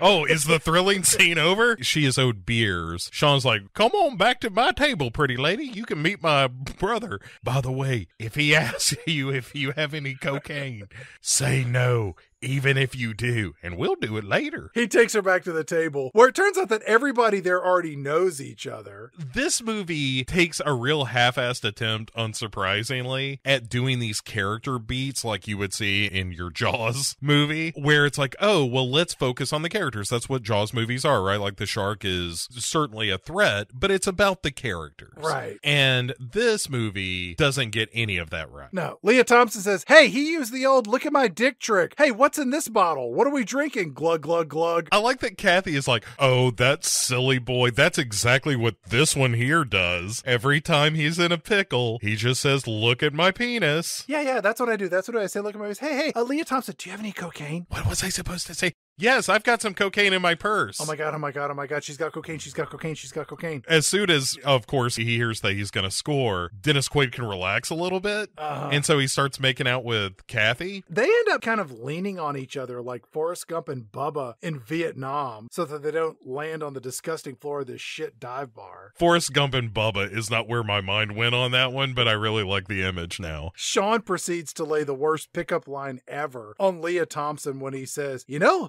Catherine here and my brother, they've been together for over a year and a half. But me, I'm desperate and unattached. I'm lonely and confused, and I'm generous and loving to a fault. It's all in my eyes. Dude, this is totally my move. This really held a really ugly mirror up to my face as I had to really stop and evaluate the pickup lines I've been using. The movie decides to save us from its awfulness by cutting away to where we see a couple of crooks get out of their 1980s era burglary slash abduction van, and they hop over this four foot tall wooden picket fence to get into SeaWorld, which Bo, I don't think any major amusement park uses a four foot tall wooden picket fence as their security barrier. This feels pretty sketchy in terms of security at best. But then again, no one could have predicted that these cartoon robbers would show up with a raft. It didn't work for Farmer Brown to fend off Peter Rabbit. I don't think it's going to work here. Before we get into their business, there's a quick cutaway to the bar again. Uh huh. These are supposed to be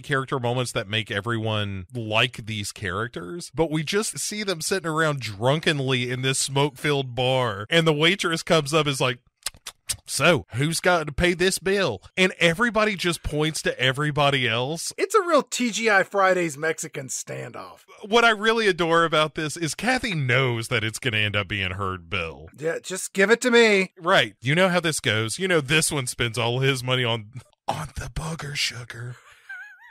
She's a doctor, Bo. that's why she used a technical term. We go back to SeaWorld where our two bandits who are breaking into this theme park to do something. They accidentally set off their inflatable raft and they head down to the lagoon. As they're making their way, we get a little bit of cheap 3D. And then the movie cuts back to Barnacle's seaside watering hole where our foursome staggers out in the middle of the night. Dennis Quaid and Catherine, they go for a walk down the beach.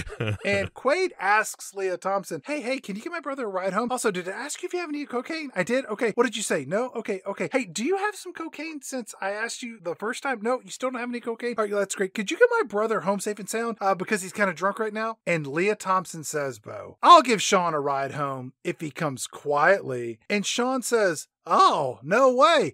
I scream and shout. Yeah, that's what you want out of your Jaws 3D movie is a lot of cum jokes. it's like the one in Guardians of the Galaxy where you're like, "Whoa!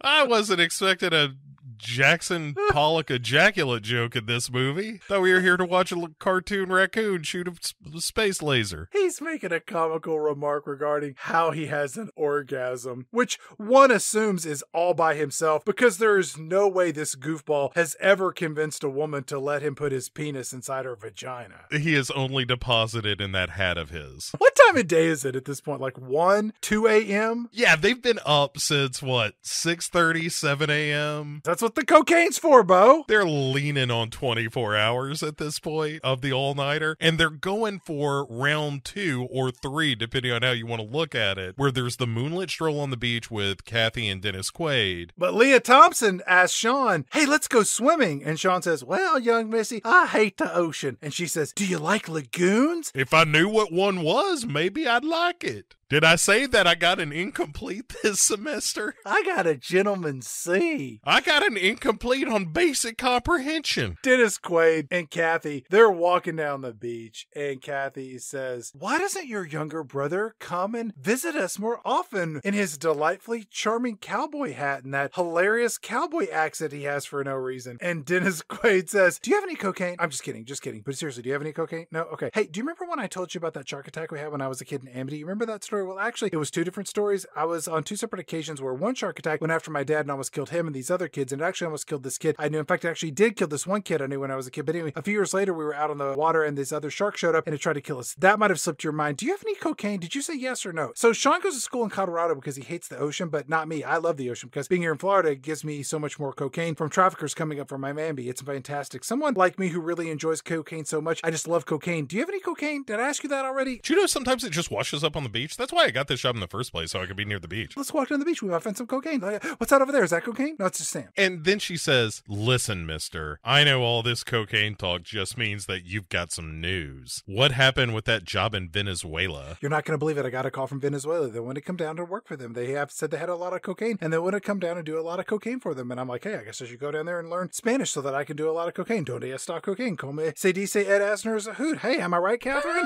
hey, do you have any cocaine? Have I asked you about the cocaine yet? I like the jokes that were just for me. Kathy, who is happy for him, you know, it's like, I knew you were going to get that job with the cartel. How long do you think you're going to be gone, Dennis Quaid? And Dennis Quaid says, uh, I don't know. I don't know. Maybe a couple of days, maybe a year and a half. Why don't you just give up your life and follow me? I know you're a doctor and all, but maybe we can go to Venezuela and we can get a whole bunch of cocaine. It doesn't get even that, Catherine. You know what? I like cocaine. You know, da-da-da-da-da, cocaine, cocaine. Follow me with some cocaine. Do you like that song? I love that song. Cocaine, cocaine. It's all about cocaine. Isn't that right, Catherine? You and me, cocaine. Do you have any cocaine? I love cocaine. You know, I was just thinking as you were ranting about your addiction that maybe, I don't know if I'm ready to just give up everything here. I've still got six months here at SeaWorld, and then I've got Uh-huh, that uh-huh, contract uh-huh. to raise Yeah. more dolphins in. Vancouver. Mm-hmm, mm-hmm. I don't know. Mhm. I just don't know, Dennis Quaid. You know what? I'm gonna go hit the slopes in Venezuela and do a lot of skiing. Coke is a real thing. I love Coke. Who wants to get some Coke? Let's go. Coke is a real thing. Cocaine, cocaine. Do you like that song? Cocaine. And so Lea Thompson and Sean are hanging out on the beach, like traipsing through some waist high colored barriers or something. Bo, they are in SeaWorld, a major theme park, and playing this game of adult hide and seek. How did they get in? Why Why are they there? If they're drunk and they're going to hook up, go back to her place. Why have sex in a bed, Chad, when you could have awkward, uncomfortable sex half in the water and half in sand? Oh my God, in disgusting swamp water? In SeaWorld water that is nothing but dolphin shit and urine. Just by skinny dipping, you've got sepsis. That's to start with.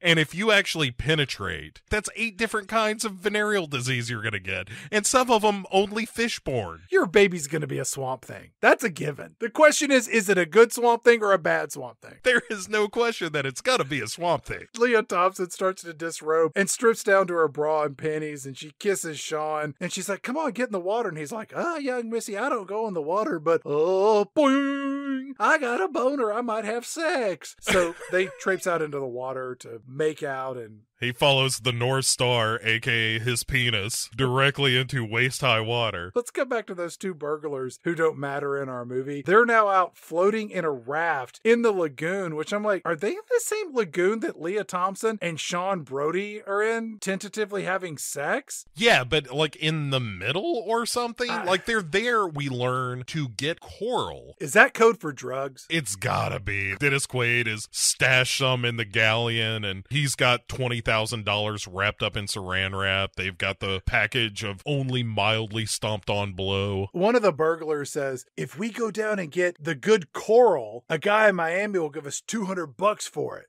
You're in a theme park collecting coral for 200 bucks, Chad.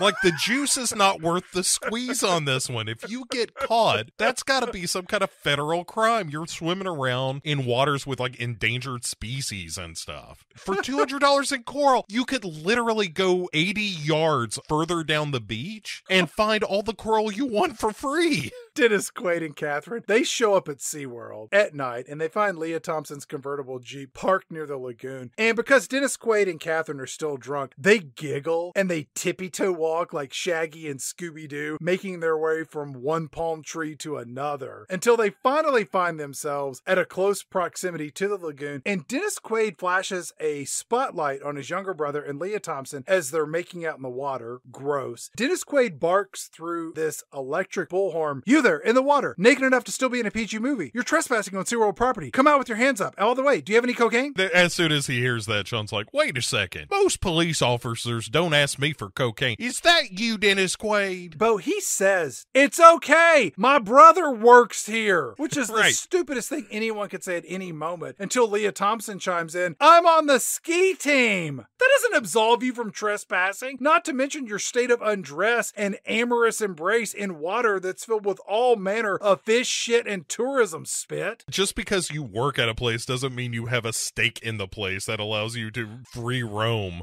You're not going to see the guy who takes the tickets at Disneyland strolling around in Disney corporate like, no, no, no, I'm part of the Disney family. Don't even worry about it. I threw a tent up in Frontierland. I live in the Swiss Family Robinson house now. Catherine ruins this whole bit by taking the bullhorn and saying, Dennis Quaid, let me have a turn at the fun. Do you two turkeys have any identification on you? Which just gives up the whole stupid bit to begin with. And everyone has a big laugh. And this is all so poorly executed and has nothing to do with anything in this movie to advance the plot or provide any additional layers to the character. Which is, to your point, Iller, is what made the original Jaws movie so incredible. Jaws isn't about a shark attacking people in a summer beach town. That's what happens, but that's not what the movie is about. But in Jaws 3D, nothing happens and it's about nothing. right. The characters are so unlikable, or at best neutral. Dennis Quaid, I think, comes off as a big jerk for most of the movie. Yep. Kathy is just such a non entity who doesn't really seem to have any agency in it. The brother is equally unlikable, and Lea Thompson wavers between aggressively horny and just pushy. I hate saying that because it sounds like I'm painting her as as being an aggressive woman that just comes on too strong or something. But she's not. She's just like the sex pot of the movie that all she wants to do is have sex with Sean or any beefcake she runs across. and get drunk. We are well over a third of the way through this movie, and none of the characters in this film are aware that there is any threat of a shark whatsoever. Hell, we've only seen the shark eat a fish, which is what sharks do, and we saw a guy's arm get chopped off and float in the water, which, with the right lawyer bow and in front of the right jury, could be argued that this arm was severed by that faulty underwater gate closure. The judiciary being what it is these days, that's definitely going to go in against the shark. let's go back to our two burglars. One of them goes into the water, and then the other one gets yanked into the water by a cord or something, and then the inflatable boat gets punctured and it gets pulled underwater, which it's implied that our burglars were eaten by a shark. I didn't even have to be on set that day. They just faked it all. It's what they use special effects for. That's just good effects work. I like practical effects. I think they age so much better. The next morning, we wake up and we're in the home of Dennis Quaid and Catherine, where Dennis Quaid is feeding their puppy basset hound that we mentioned earlier, which is shocking that these two have a dog and a puppy. You can't go out drinking on a beach when you got a dog like that. You got to take it for a walk. You got to spend time with it. Otherwise, you're raising a monster. You don't have to, Chad. This place has an odor. There is no doubt about that. You can see it in this movie. The stink lines are visible. Every scene, there's a pig pen laying just below the camera frame. And I like the fact that Dennis Quaid is holding the dog's ears while it eats. It's uh, his girlfriend that had a little too much to drink. Her boyfriend broke up with her, and now she's really blowing it out. Mhm. I like I like that quite a bit. Catherine leaves for work saying, Dennis Quaid, I'm off to do aquatic doctor stuff, but be a dear and leave some water on the floor for our dog named. Be sure you leave the toilet bowl seat up. Mwah! Sean and Dennis Quaid, they sit down because they're both hungover and they start chit chatting over a very robust breakfast of eggs, bacon, toast, Wheaties, Tropicana orange juice, coffee. It's all part of a well balanced breakfast, Bo. Well, that's Dennis Quaid was up all night cooking. He, you know, he was all on the toot. He never slept. Yeah. I gotta cook, gotta cook, gotta clean, gotta clean. You don't know? Oh my god, oh my god, I've gotta go in to do my taxes. I know it's the middle of the year, but I still need to do my taxes. I could prepay, I could prepay. Don't you ever sleep, Dennis Quaid? Not for weeks. Not for weeks. And during this scene, Sean tells his older brother Dennis Quaid, he says, Consarn it, you know, I was this close to doing it in the water last night. And I'm like, you know what? You could have left off in the water last night, and your statement still holds true. And then Sean kind of breaks his older brother's balls a bit, and he's like, you know what? Admit it, big brother. You done went and messed me up real good when I was a youngin'. And then Dennis Quaid says, yeah, yeah, I guess I messed you up, blah, blah, blah. Hey, do you have any cocaine? These two don't even discuss what happened to them as kids with the shark attacks. It's completely glossed over. In fact, this conversation, just when you might get an actual human moment between these characters, Yep. Calvin Bouchard calls up Dennis Quaid. He's like, "Say now, uh, we got a problem down here at the SeaWorld, and we need you to come on in and take care of some Dennis Quaid business." On Dennis Quaid's side of this is like, who? Louis Gossett Jr.? My boss? Uh, yeah. Okay. Men are working on it? Yes, sir. All right. Do you have any cocaine? No? All right. I'm just asking for a friend. All right. Goodbye. Click. Sean, I gotta go to work. yeah, and off he goes. And so we cut to the asshole dolphins. Uh huh. who are just jumping up and down as Fitzroyce is taking pictures while Kathy and and her crew are training these dolphins who are just like, look, we can get up. We got big ups. We jump high. We're not as fat as you called us. Catherine's like, look, look at these fat tubs of lard. Get those two lazy mammals in here and I'll shame them into losing a few pounds the way my mother did me when I was a child. You there are dolphins. I'm not going to dignify by calling you by your names, you fat asses. we can remember everything.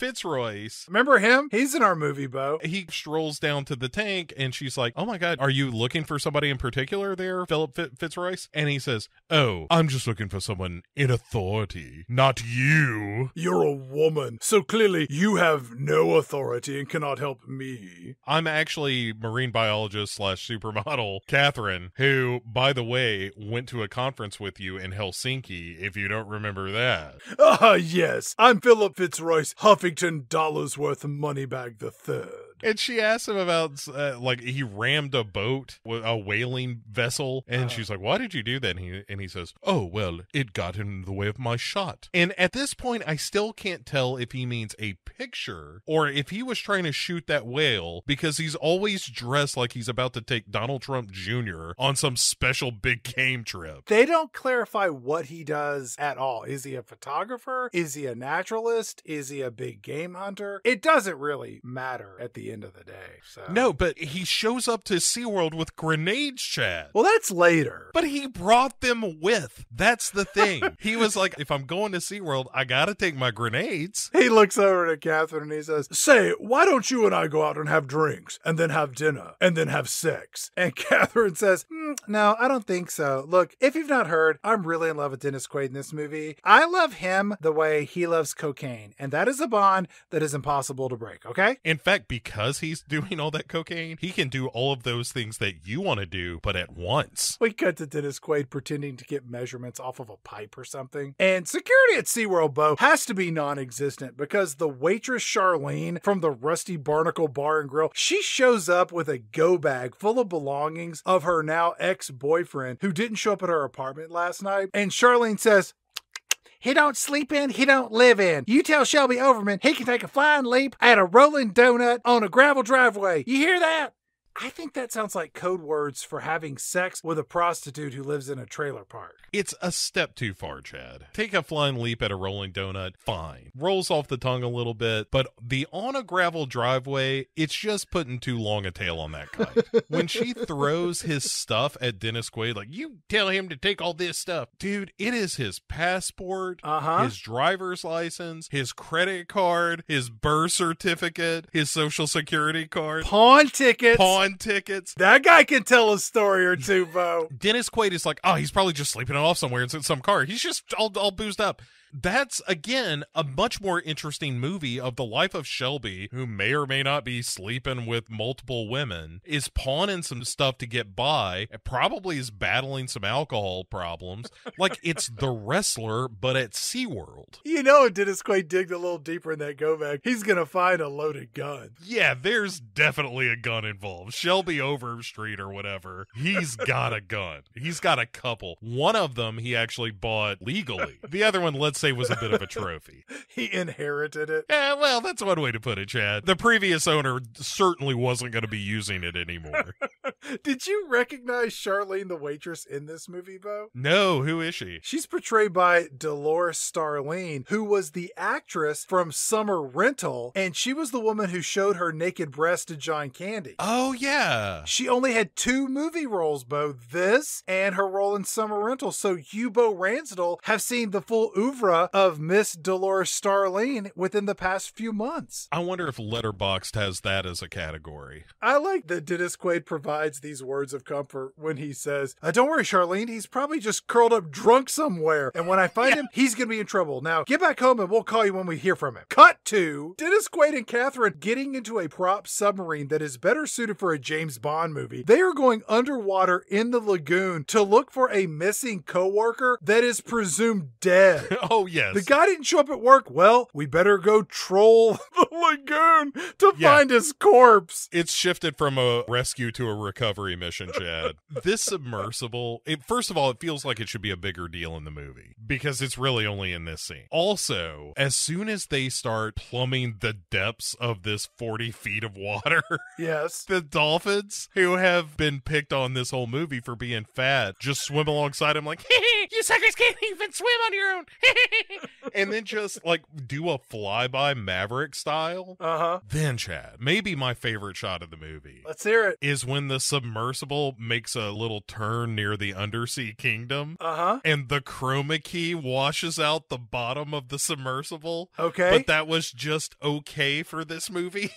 Are you talking about the shot from inside underwater headquarters? No, it, you see, it's a shot of the submersible, and it just tilts like to port. Yes. And as it tilts up, you see the underside of the submersible, but it's totally chroma keyed out. It's shocking, Chad. The fact that like this wouldn't pass in a homemade YouTube video these days, and this made it into theaters as a Jaws movie. this scene gives us a whole bunch of hokey 3D effects as as the submarine is floating around. Dennis Quaid and Catherine, they drift around for a bit looking for their dead coworker based on a hunch. They say that if if Shelby's body is in fact in this lagoon, it will have washed into the center because of all the drifts and tides and whatnot. He didn't show up to work, and their first thought is he's dead in the lagoon. Look, he was drunk when I asked him to fix the gate. The chances of him dead are, you know, 35, 40%. I mean, it's not 100, but there's a good chance we're going to find him in this lagoon. Dennis Quaid and Catherine, they get out of the submarine and they go swim around this sunken ship exhibit to see if the corpse of their missing drunk employee is jammed in there somewhere. And we get more 3D trickery from a pirate skeleton. And the asshole dolphins come out too, where like Yeah. when Dennis Quaid gets out, they're just like,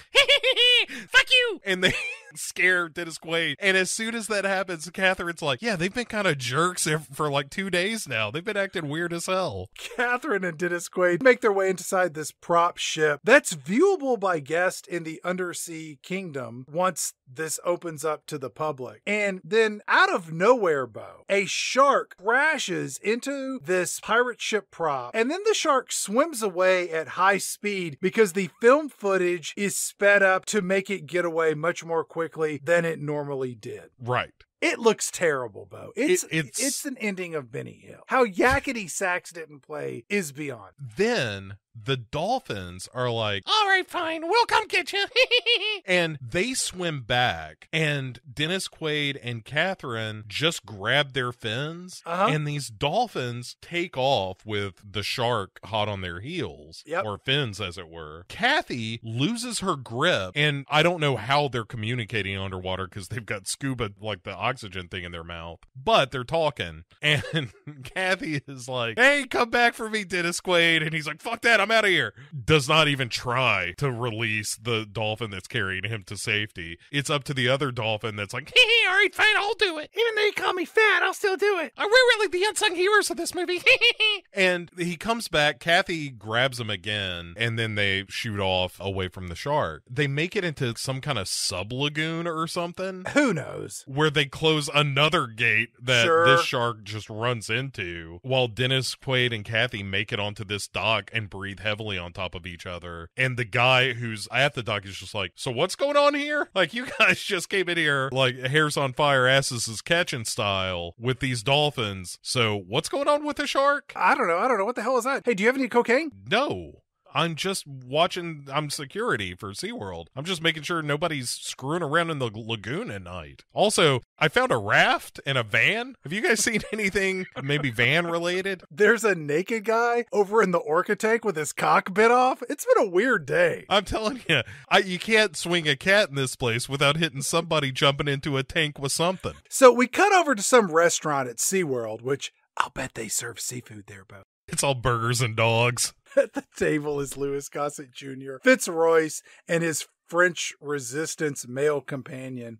This SeaWorld employee walks over to interrupt this dinner, and Louis Gossett Jr. tells this employee, Look at here, we having dinner. All right, this better be important. This here is my house. All right, these are my guests. And the employee leans over and says, Um, sir, Dennis Quaid and Dr. Catherine, what's her name? You know, his girlfriend who's always kissing him all the time. They were chased by a shark out in the lagoon.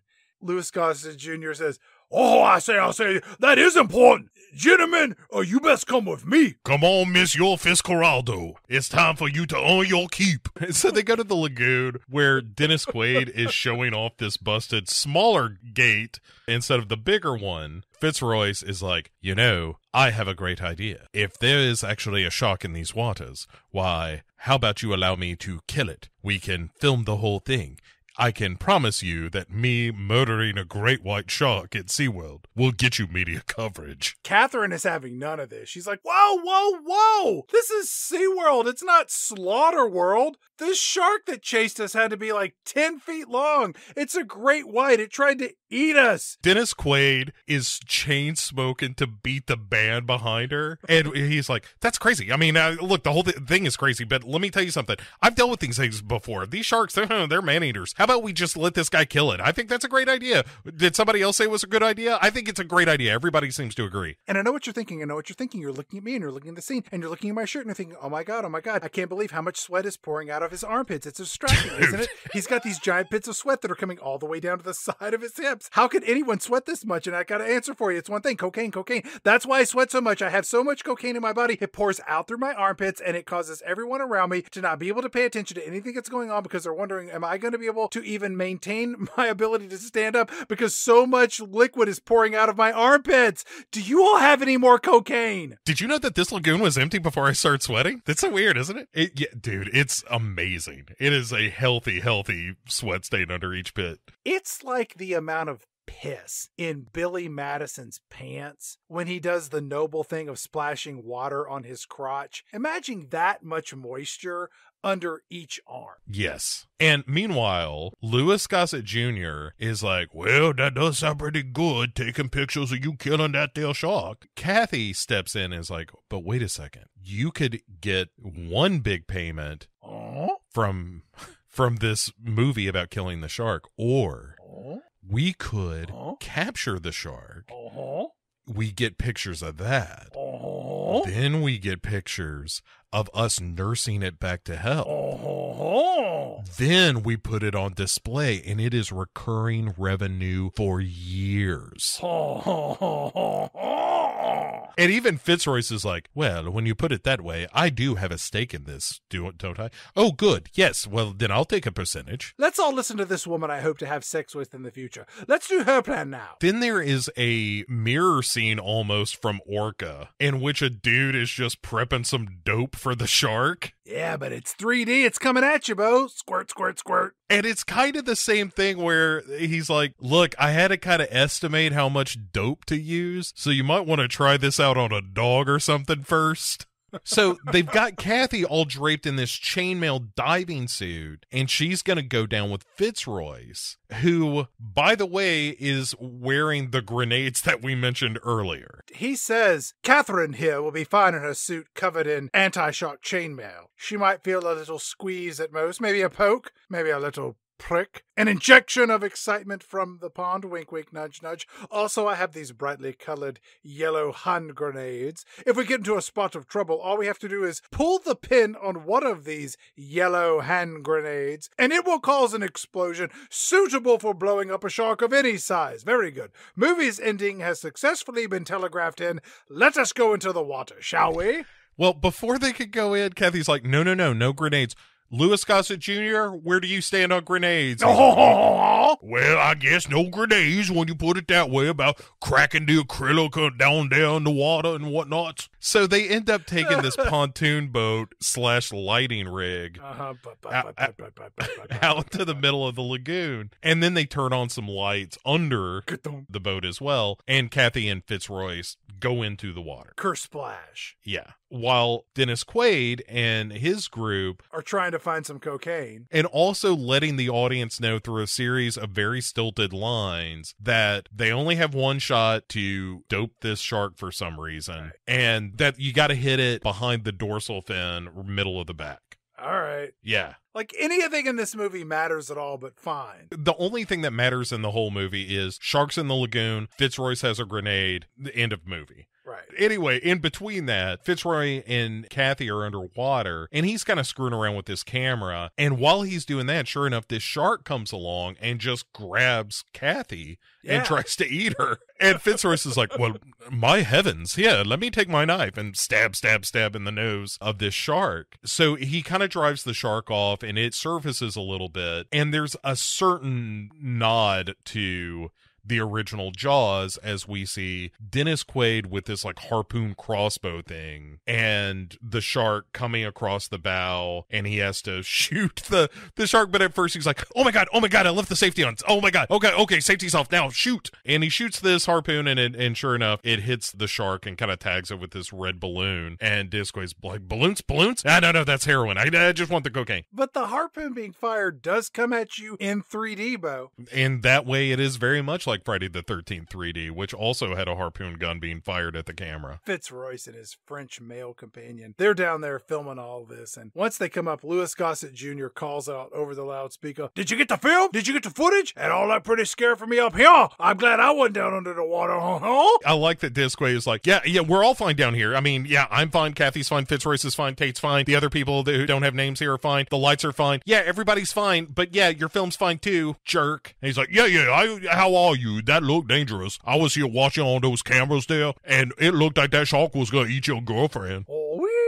I tell you what, she is a pretty little thing. You slap some barbecue sauce on her, I eat that bottom. We cut to the next day, and Dennis Quaid shows up at this tank of water, still high on cocaine, and quite possibly some of that shark tranquilizer that he pumped into the shark that we now find in the tank of water with Kathy. And she's trying to nurse this shark back to health with this nameless trainer. And then Dennis Quaid just hops into the water with her because she's his girlfriend and he's high on cocaine and shark tranquilizers. And they're going to nurse this shark back to health. And then suddenly the shark just snaps to life and starts swimming around in this tank. And it's a real magical moment. Kathy makes it clear, like, hey, don't do anything to traumatize this shark. Like shoot it with a shark tranquilizer gun and abduct it from the lagoon in which it was born. let it see pornography too early or violent imagery. Let's let it socialize properly. Maybe some pre Shark K. We then cut to some footage of SeaWorld opening up the Undersea Kingdom attraction. And everything is back to normal, Bo. Louis Gossett Jr., he comes over to Dennis Quaid and he says, Look a here, what happened to that lazy worker what disappeared a few scenes back? You will find his dead body down in the lagoon. If not, when he show up, you fire his ass, or I'm holding you responsible. Hey, no, no, wait, wait, wait, wait, wait. Let's not fire somebody just because they go missing for a couple of days and are on a bender, okay? I mean, who doesn't do that? Everybody does that every now and again. So, hey, you just let me take care of this. You listen up here. I'm Louis Gossett Jr. I run this park. By the way, where's that great white shark what we caught last night? No matter. Go find that shark, put it in tank number six, and let everybody go look at it. Yeehaw! By three o'clock, I want to make sure that I can get in line and see that shark swimming around in that tank, maybe eating some fish, maybe it was popping his little tail up in the water, giving all the kiddies a little splashy splashy. I want to make sure that's ready to go by sundown. We are then treated to footage of a ski show at SeaWorld in the lagoon, where we see the pyramid skiers we saw earlier doing their thing. There's this duo of skiers dubbed the Silver Bullets. They're called that, Bo, because they're always drunk on Coors Light.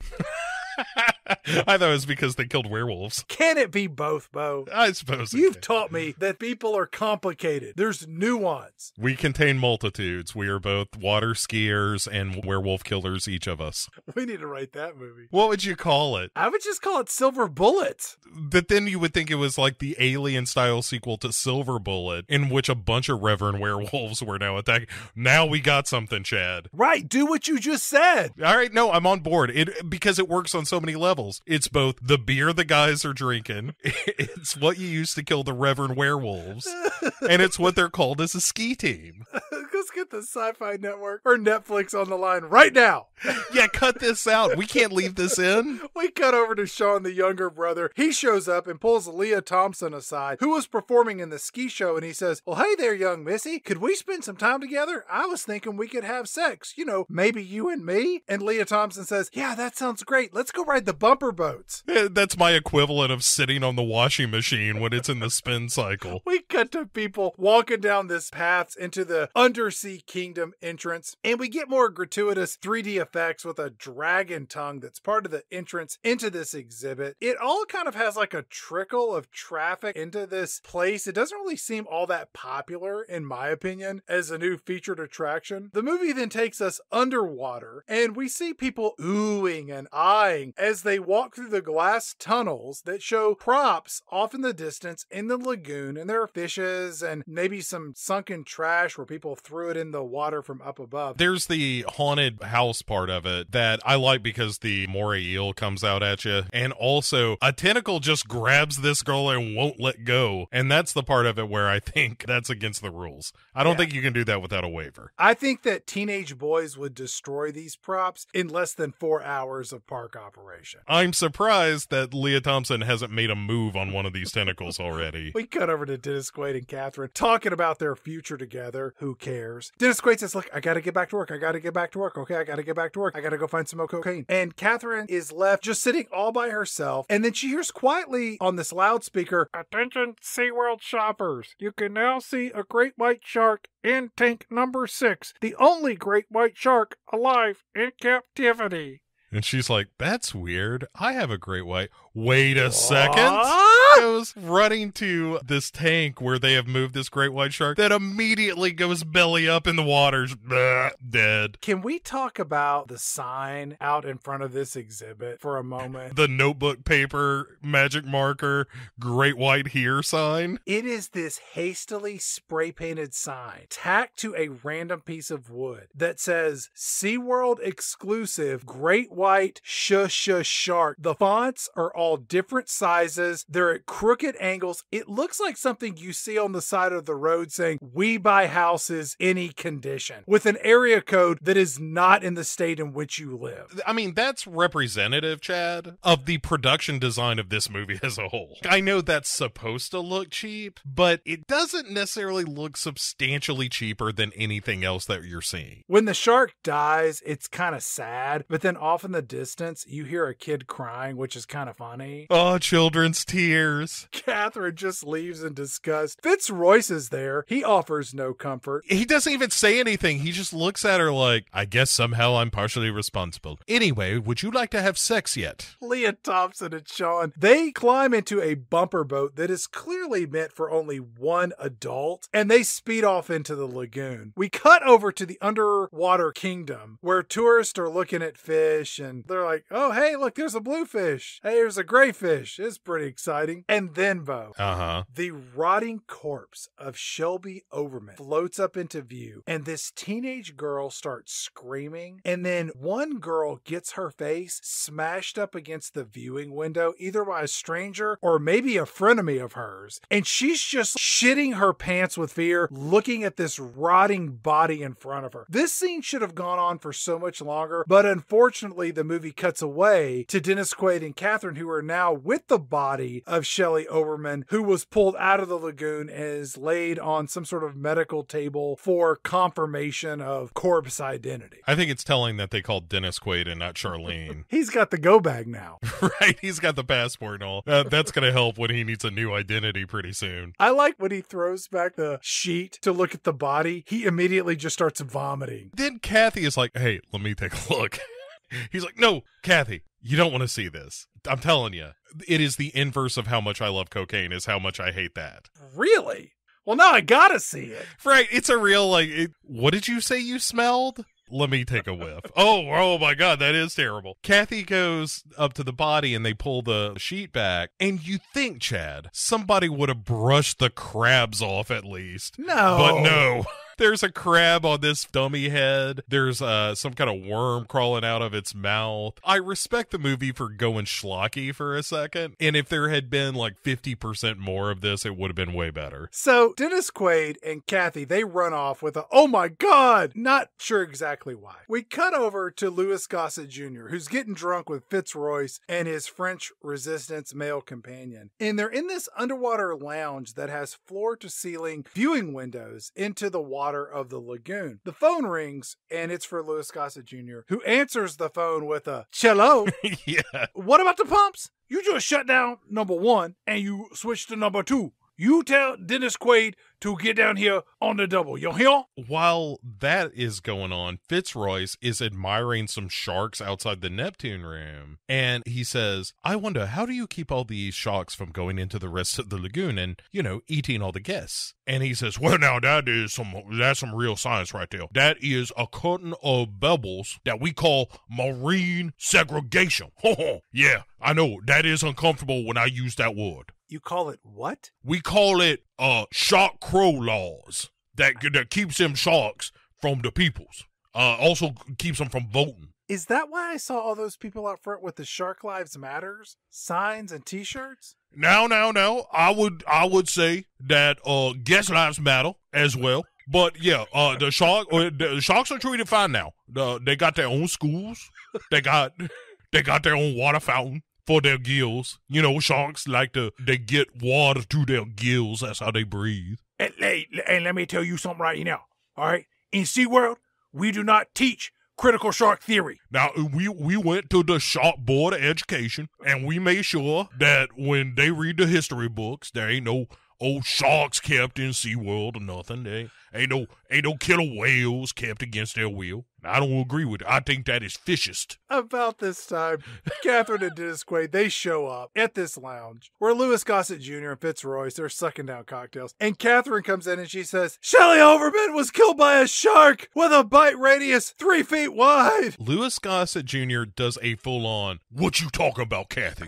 Fitzroy says, Well, that would mean the shark was at least 35 feet in length. The one that we captured and subsequently saw die in front of Paul Guest was only 10 feet in length. And Catherine says, It appears that you can do basic math, you imbecile. Also, our shark, the dead one you just mentioned, and that you moved to the viewing tank, had all of its teeth. It's a baby. It didn't kill Shelley Overman. Its mother did. And then, Bo, Yeah. Louis Gossett Jr. gives the most Louis Gossett Jr. line delivery in this whole movie when he says, You talk about some damn shark, mother. Man. And once they establish that there is a giant shark, a Jaws 3D, in fact, on the loose, yes. everybody goes running except for Louis Gossett Jr., who calls up the headquarters in the Undersea Kingdom and is like, Hey, is my nephew there? Put my nephew on the phone. Hey, listen. Louis Gossett Jr. Jr. I need you to get everybody out of that undersea kingdom, and I need you to seal up the park. Now, don't ask me a bunch of questions about giant sharks right now, because I got no answers. I don't know how to do that. I, I'm not sure. Listen, if you want to take the good Louis Gossett Jr. Jr. name Yes. and carry it wi- around with you, Of course I do. with my blessing, Ah, you are going to seal up this park. okay. Can I be in Dickstown too? No, you may not. That is for me and James Woods and Oliver Platt. Now, I never met Bruce Dern. He would not meet me. I tried to corner him and get him to sign an autograph because of how much I love silent running. Well, he is a big proponent of critical Dern theory, and he would not meet me. He also did not care for enemy mines. Louis Gossett Jr. goes on to say, That baby mama gave birth out in the ocean, and it was the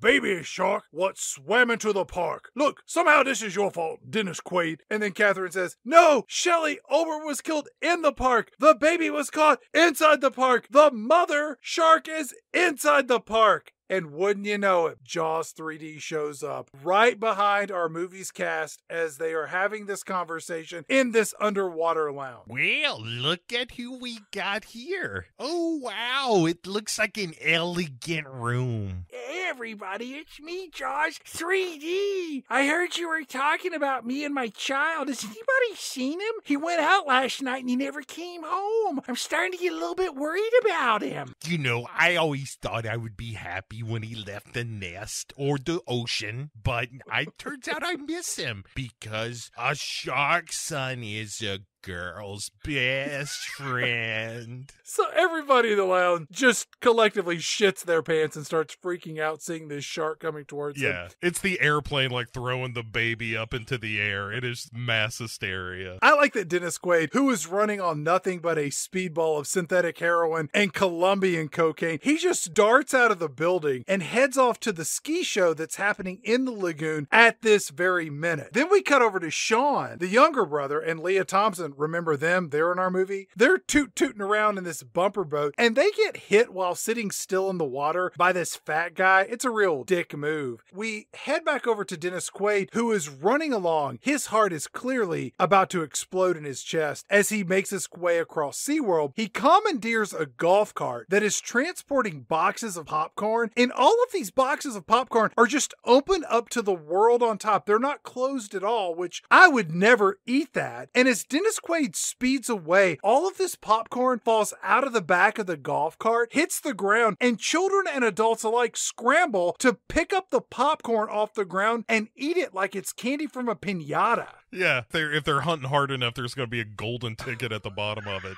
The best part of Dennis Quaid requisitioning this golf cart from the popcorn guy Uh-huh. is that it takes him maybe 45 feet before he drops it on its side, going up a gentle slope.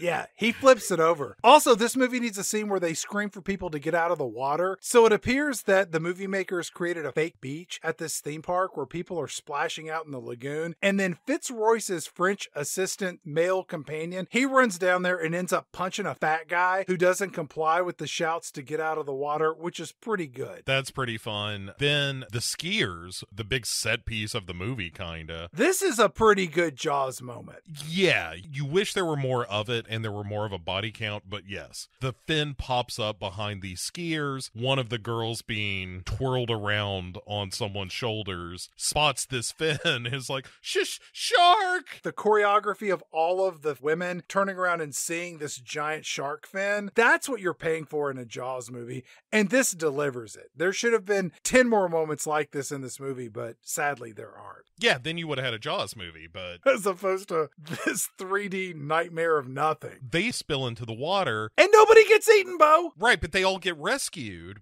uh, by the boats, and you're like, "What? What the hell, Jaws 3D? what am I here for?" You know, you just tease me with this fin coming out of the water, but we'll get to it. Uh, we see the shark is, is like, "Look, I'm not here to naughty people, so if you skiers aren't gonna be cooperative, I'm just gonna have to go after the bumper boats." Which is what Jaws 3D does. Heads over to the bumper boats, and Bo, wouldn't you know it? Jaws 3D happens to crash into the one bumper boat with Sean, the younger brother, and Lea Thompson. They pop out of the bumper boat straight into the water, and Jaws 3D just takes a chunk out of Lea Thompson's leg. carries her around, takes her for a little bit of a ride. Chad, this scene in particular, there's a real layup of a good shot to do here where once Sean is spilled into the water, Right. you do the shot from the first one where the shark's leaving the lagoon and swims by him. You know the shot I'm talking about? Absolutely. Why they don't do that in this movie is head scratching. Like you're doing all kinds of dumb tips of the hat to the original film. Why not just take one of the best shots of the movie and steal it? Because then it would be the one good shot in your movie.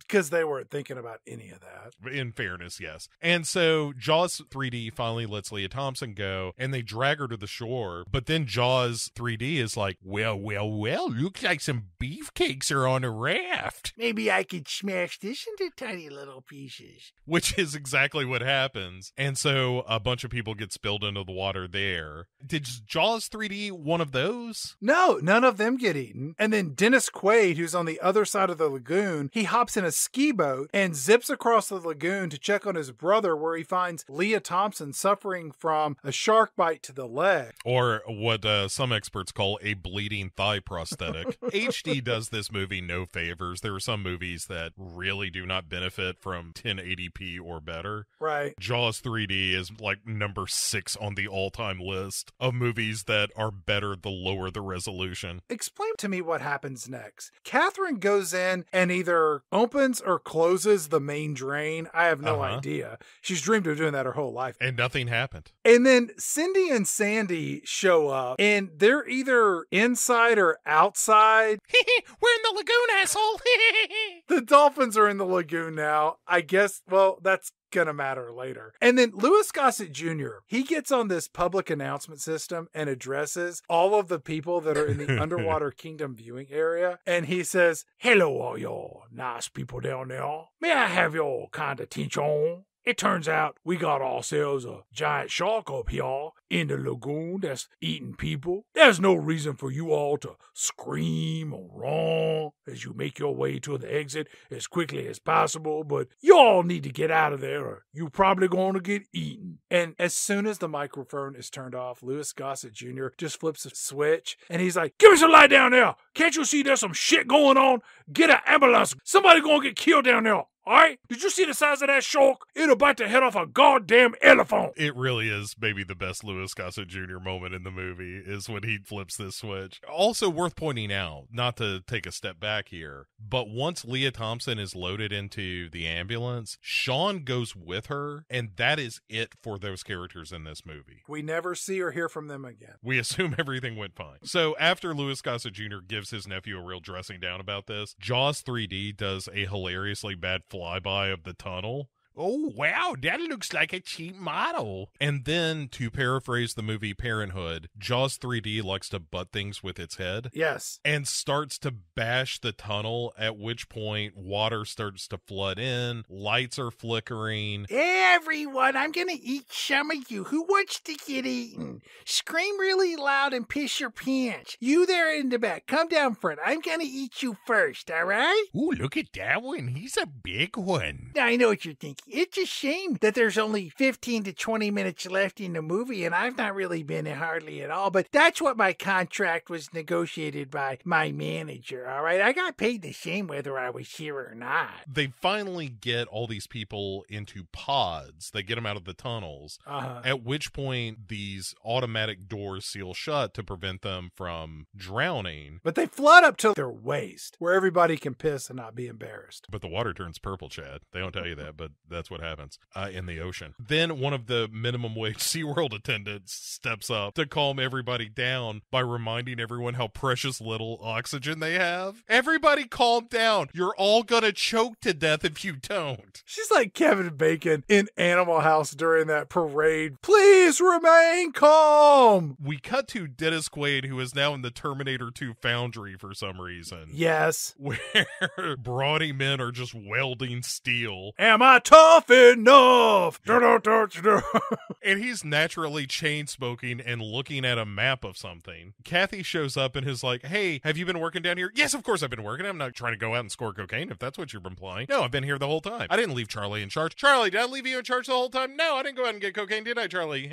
Charlie never lies. By the way, look at this. Look at this. Does this look like a cocaine treasure map to you? I think it's a cocaine treasure map. she tells him like look you're doing all you can in the sense that you are debilitated mentally and physically right now by your lack of sleep so i just want you to know that i'm here for moral support i love you i hope you don't kill all those people in the tunnel and you let me know what you need i'll be at home making sure that there's enough downers bennies and Michelobs to even you back out Outside the undersea kingdom, the media has shown up, and this PR spokesman is there, and he's asked all kinds of questions like, Was there an explosion? Has anybody died? What would you do for a Klondike bar? And the spokesman says, Earlier, there was a minor disturbance, and one of the tunnels had something happen, and we estimate that between two and 1,000 people are trapped in the tunnels. There was a fish related incident that may or may not have resulted in the trapping and potential drowning of, let's say, people with guest status. Stop avoiding the question. What would you do for a Klondike bar? This press conference is over. We cut to those 20 people trapped in the tunnels with water up to their waist. And then the movie bounces over to Louis Gossett Jr., who is beside the lagoon. He's looking pretty distraught. And Fitzroyce shows up and he says, My French man Seven and I, we're going to lure this shark into the pipe and we're going to dispose of it once and for all. You can finish off your welding and save your trapped tourist. We're going to guarantee that that shark is going to follow us into this tube because we're going to use live bait. Meaning, presumably, him.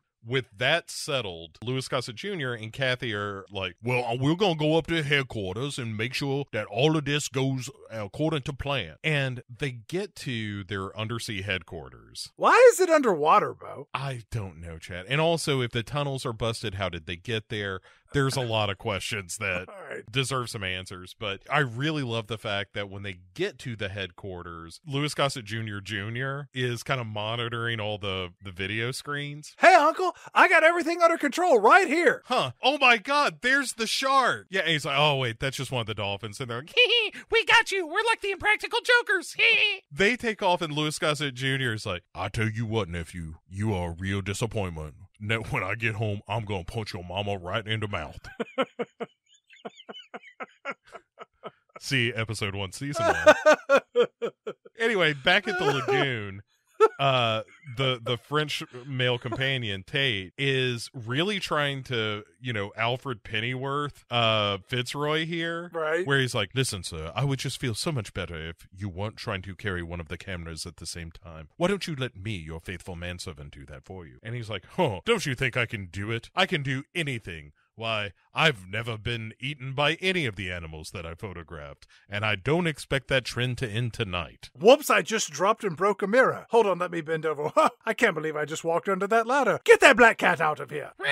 So, Dennis Quaid and his light pontoon are now in position over the tunnel, and he's going to go down and fix the breach in these tunnel walls Right. as Tate and Fitzroyce are diving in. So they kind of coordinate this jump where Fitzroyce is diving into this pipe and they're going to trap it in these filtration lines. Louis Gossett Jr., who's coordinating all this, is like, okay, uh, Alpha team, you go to the filtration pipes. We'll see you in a minute. Now, Delta team, you're going to swim on down there and fix that tunnel. Everybody on three. One, two, three, kill shark. Fitzroyce and his buddy tie a rope to the far end of this filtration tunnel and then start waving around some vials of blood to draw Jaws 3D into this filtration tunnel. and they're clanging the walls to get its attention. They're like truly ringing the dinner bell. Right. And then Fitzroyce swims up the shaft, and Jaws 3D is like, "Oh boy, that's where I was hanging out earlier. I'm gonna eat me a diver tonight." Jaws 3D goes into the tunnel and keeps chasing and chasing. Fitzroyce is pulling himself along by this rope, but wouldn't you know it, the rope breaks. I didn't understand any of this. I didn't know what the hell was going on. It wasn't until the second time I watched it recently that I was like, "Oh, okay, I understand what their plan is now." It's just not made very clear. Okay. So when the rope breaks, suddenly he is now unable to propel himself fast enough Uh-huh. to get away from Jaws 3D. He has to turn and kind of fight, and he uses the camera to bang on its snout, but Jaws 3D is like, ow! Is not going to deter me from eating you, mister. So then he gets a knife and it's stab, stab, stab, but then Jaws eats him, and we get some inside the gullet shots of Fitzroyce like struggling and trying to kill this shark by removing a grenade, and one presumes he's about to pull the pin when Jaws 3D gives him a fatal chomp. Yeah. And it's kind of nice. You're inside the belly of the shark. It's like Jon Voight getting chomped on by the anaconda from the inside out. Yeah, and and just like that, I wish there had been more schlocky stuff like this. We cut over to Dennis Quaid, who's doing some of his handy dandy welding work. And then Catherine, out of nowhere, she just decides, hey, I need to go down there and help Dennis Quaid. Why you gonna do that? Just because the movie needs me to go down there. So she jumps in the water, and then Dennis Quaid is in the water. Fitzroyce is dead. His French manservant makes his way out of the water. I don't really know how that happens, but when he pops out of the water, Fitzroyce has not returned, and this manservant is beside himself. He's like, Mon ami, c'est c'est Fitzroyce, Fitzroyce, mi amor, no! He spews forth a string of European gibberish that was completely indecipherable. And I didn't watch this with the uh, subtitles on, and I didn't turn them on for this because the fact that this was just a bunch of syllables thrown together with no real meaning, I think conveyed the sense of loss and desperation far more than any intelligible line could. It was like listening to the eulogy at the death of a minion. It was the scream that Toni Collette gives when she finds the headless body of her child in the backseat of Hereditary. Oh my god. Yeah, it is a wail of pure anguish. Louis Gossett Jr. decides we need to turn off all the pumps in the tunnel to suffocate the shark. Louis Gossett Jr. Jr. Turn off those pumps so that we can kill Jaws 3D so she cannot escape the tunnel, huh? Kathy has suited up in the headquarters and has descended into the water so she could be, as she puts it, the eyes in the back of Dennis Quaid's head, aka the only pair of non bloodshot eyes in the water. Sure. And so while this filtration pump is being turned back on, Jaws 3D starts whipping its tail back and forth. Look at me. Look what I can do. Bang, bang, bang. Louis Gossett Jr. and Louis Gossett Jr. Jr. are watching on the video screen as the tail just whips the gate until it opens back up, and then Jaws 3D backs out. Back into the lagoon. Now we have our true finale set up. If you say so. Louis Gossett Jr. calls down to the pontoon boat. And he's like, "Hey, you better get that Dennis Quaid up out of there. Now, uh, you may need to junk that rope three or four hundred times because Dennis Quaid, you know, he's gonna think that's just the the natural jitters of his heart pumping about four hundred and thirty-seven times a minute on account of all that cocaine." Mm-hmm. So sure enough, these guys are jerking on his the safety rope, and he does not seem to ever notice that this has happened. And uh, so he doesn't come up, but then Jaws 3D shows up. Surprise! It's me, Jaws 3D, your worst nightmare. This shark roars at them as it shows up, which is very funny. And then the dolphins appear, and they're like, "Let's give this guy what for!" and they just start screwing with Jaws 3D, where they're like nipping at her fins and at her face. It's like those two orcas that bullied Tilikum in our last episode's introduction. Yeah, these dolphins are real jerks. Finally, though, Jaws 3D is going after him, and This is bullshit. What? Are, you guys are assholes. Yeah, we know. So are you. All right, we'll see you at the end of the movie. Meanwhile, Dennis Quaid and Kathy swim back to headquarters through this tunnel that allows them to ascend. It's some safety hatch that lets them get up. They're in a submarine or something. Before they can close the door, Jaws grabs it.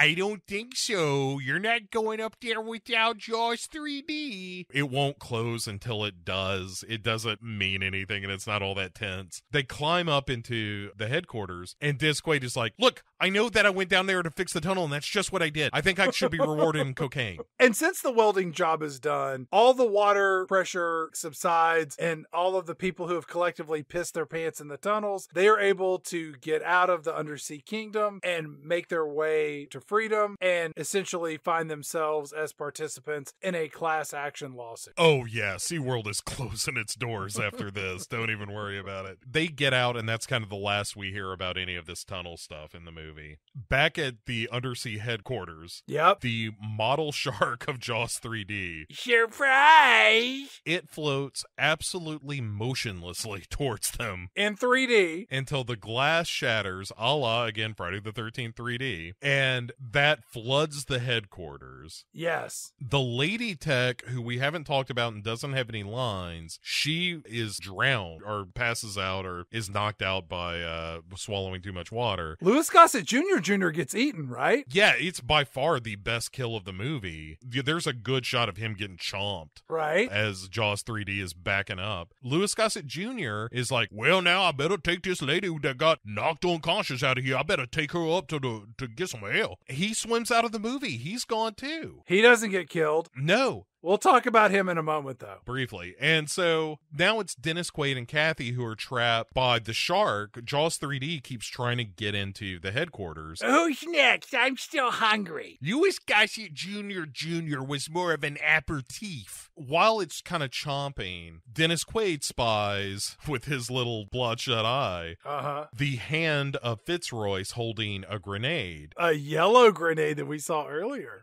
That's right. You know how you make it explode, Bo? You, gotta, gotta pull, the pin, out. Yeah. So he fashions this crude Sandman style hook Hand me that clothes hanger. Bend, bend, twist, bend. I'm totally gonna get my car keys. Don't even call a locksmith. I can do it. I'm gonna do about three hundred dollars in damage to my car as I'm trying to open the lock that would have cost me sixty dollars if I'd called that guy. Ka-thunk. Damn it. Ka-thunk.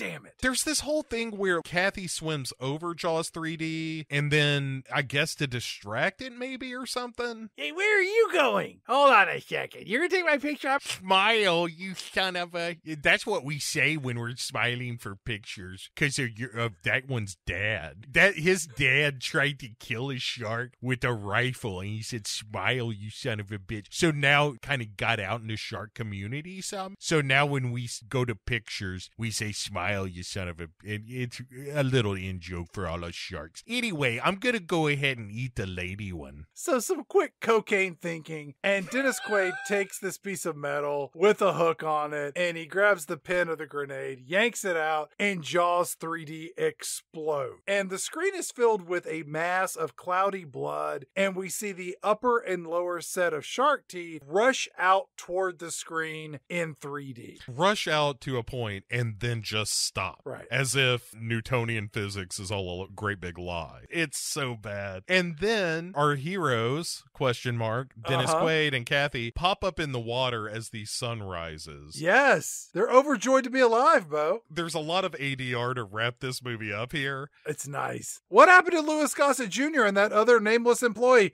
They're fine. Don't worry about it. That ought to be the only line. Don't even Yeah. worry about it. It's fine. Don't worry, Louis Gossett Jr. is going to spend the rest of his life in deposition sessions, courtrooms, or behind bars. and Iron Eagle movies. Louis Gossett Jr., for your crimes against SeaWorld, I sentence you to Iron Eagle 3. Kathy then says, Hey, Dennis Quaid, what happened to those fat asses, Cindy and Sandy the dolphins? You you know, you're being a real bitch right now. I mean, we kind of saved your lives. And then at that exact moment, these two dolphins pop up from the water just in time for a freeze frame as the movie comes to an end in classic 1980s freeze frame style. Right, Dennis Quaid and Kathy are high fiving. Don't you forget about me. You saw us as you wanted to see us. In I'll simplest terms, a shark, dancing, you a know Jaws it, 3D, baby, a cocaine addicted, to tear you maintenance man, a biologist, and a Lea Thompson. together at baby. Sincerely, the SeaWorld Club. and that's Jaws 3D. Yeah. It's just awful, Chad. This is like I know we say this a lot, like oh, this is one of the worst movies we've ever talked about on the show. I know, I know, but this is truly, truly a bad movie. I mean, it doesn't hang together at all. Nobody cares about this. Nobody. It's not one of those bad movies where it's like you know this, this like Jon Voight is really trying in this movie. He's um, you may disagree with the performance, Uh-huh. but he's given a performance. Nobody cares in this movie. Nobody gives a shit. The special effects are terrible. The script is awful. The characters are unlikable. It is a movie that dares you to focus on it for more than a few minutes at a time. With this being the season finale of season 16, as we have made a tradition of doing, we rank our movies from best to worst, worst to best, however we want to figure this out. So, how would you rank these movies from worst to best, telling someone, don't watch this, to do watch this? Okay, I would probably put Jaws 3D at the bottom. Okay. because I just don't think there's any reason to watch it at all. We had a good time with it, but it's a it, it's not fun to watch ever. At number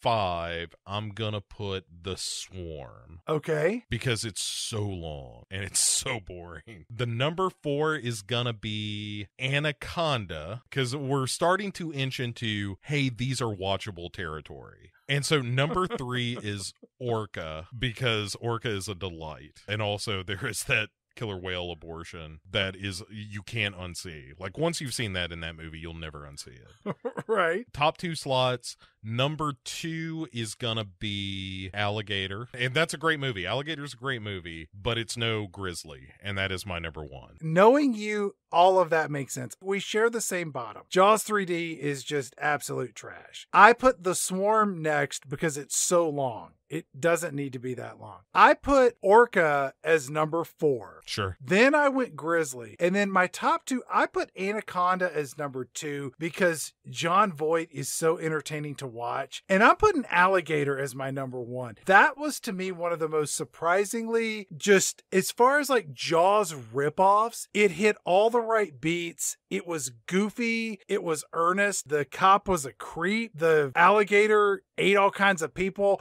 We had that one kid telling the cop to go fuck himself. It was, was just great. it was just delightful. And when that alligator goes nuts at that dinner party Yeah. on the lawn or the, the wedding or whatever the hell it is, Yep. I mean, that is a tremendous sequence. Seeing that guy get crushed in that limo with a giant alligator that was all done with practical effects and everything. It looks great. It's like something out of Street Fighter 2. This has been a terrific season. Are we doing another season of this podcast? Yeah, next season, as has been wildly requested by the listeners, Uh-oh. we're heading back into comic book territory.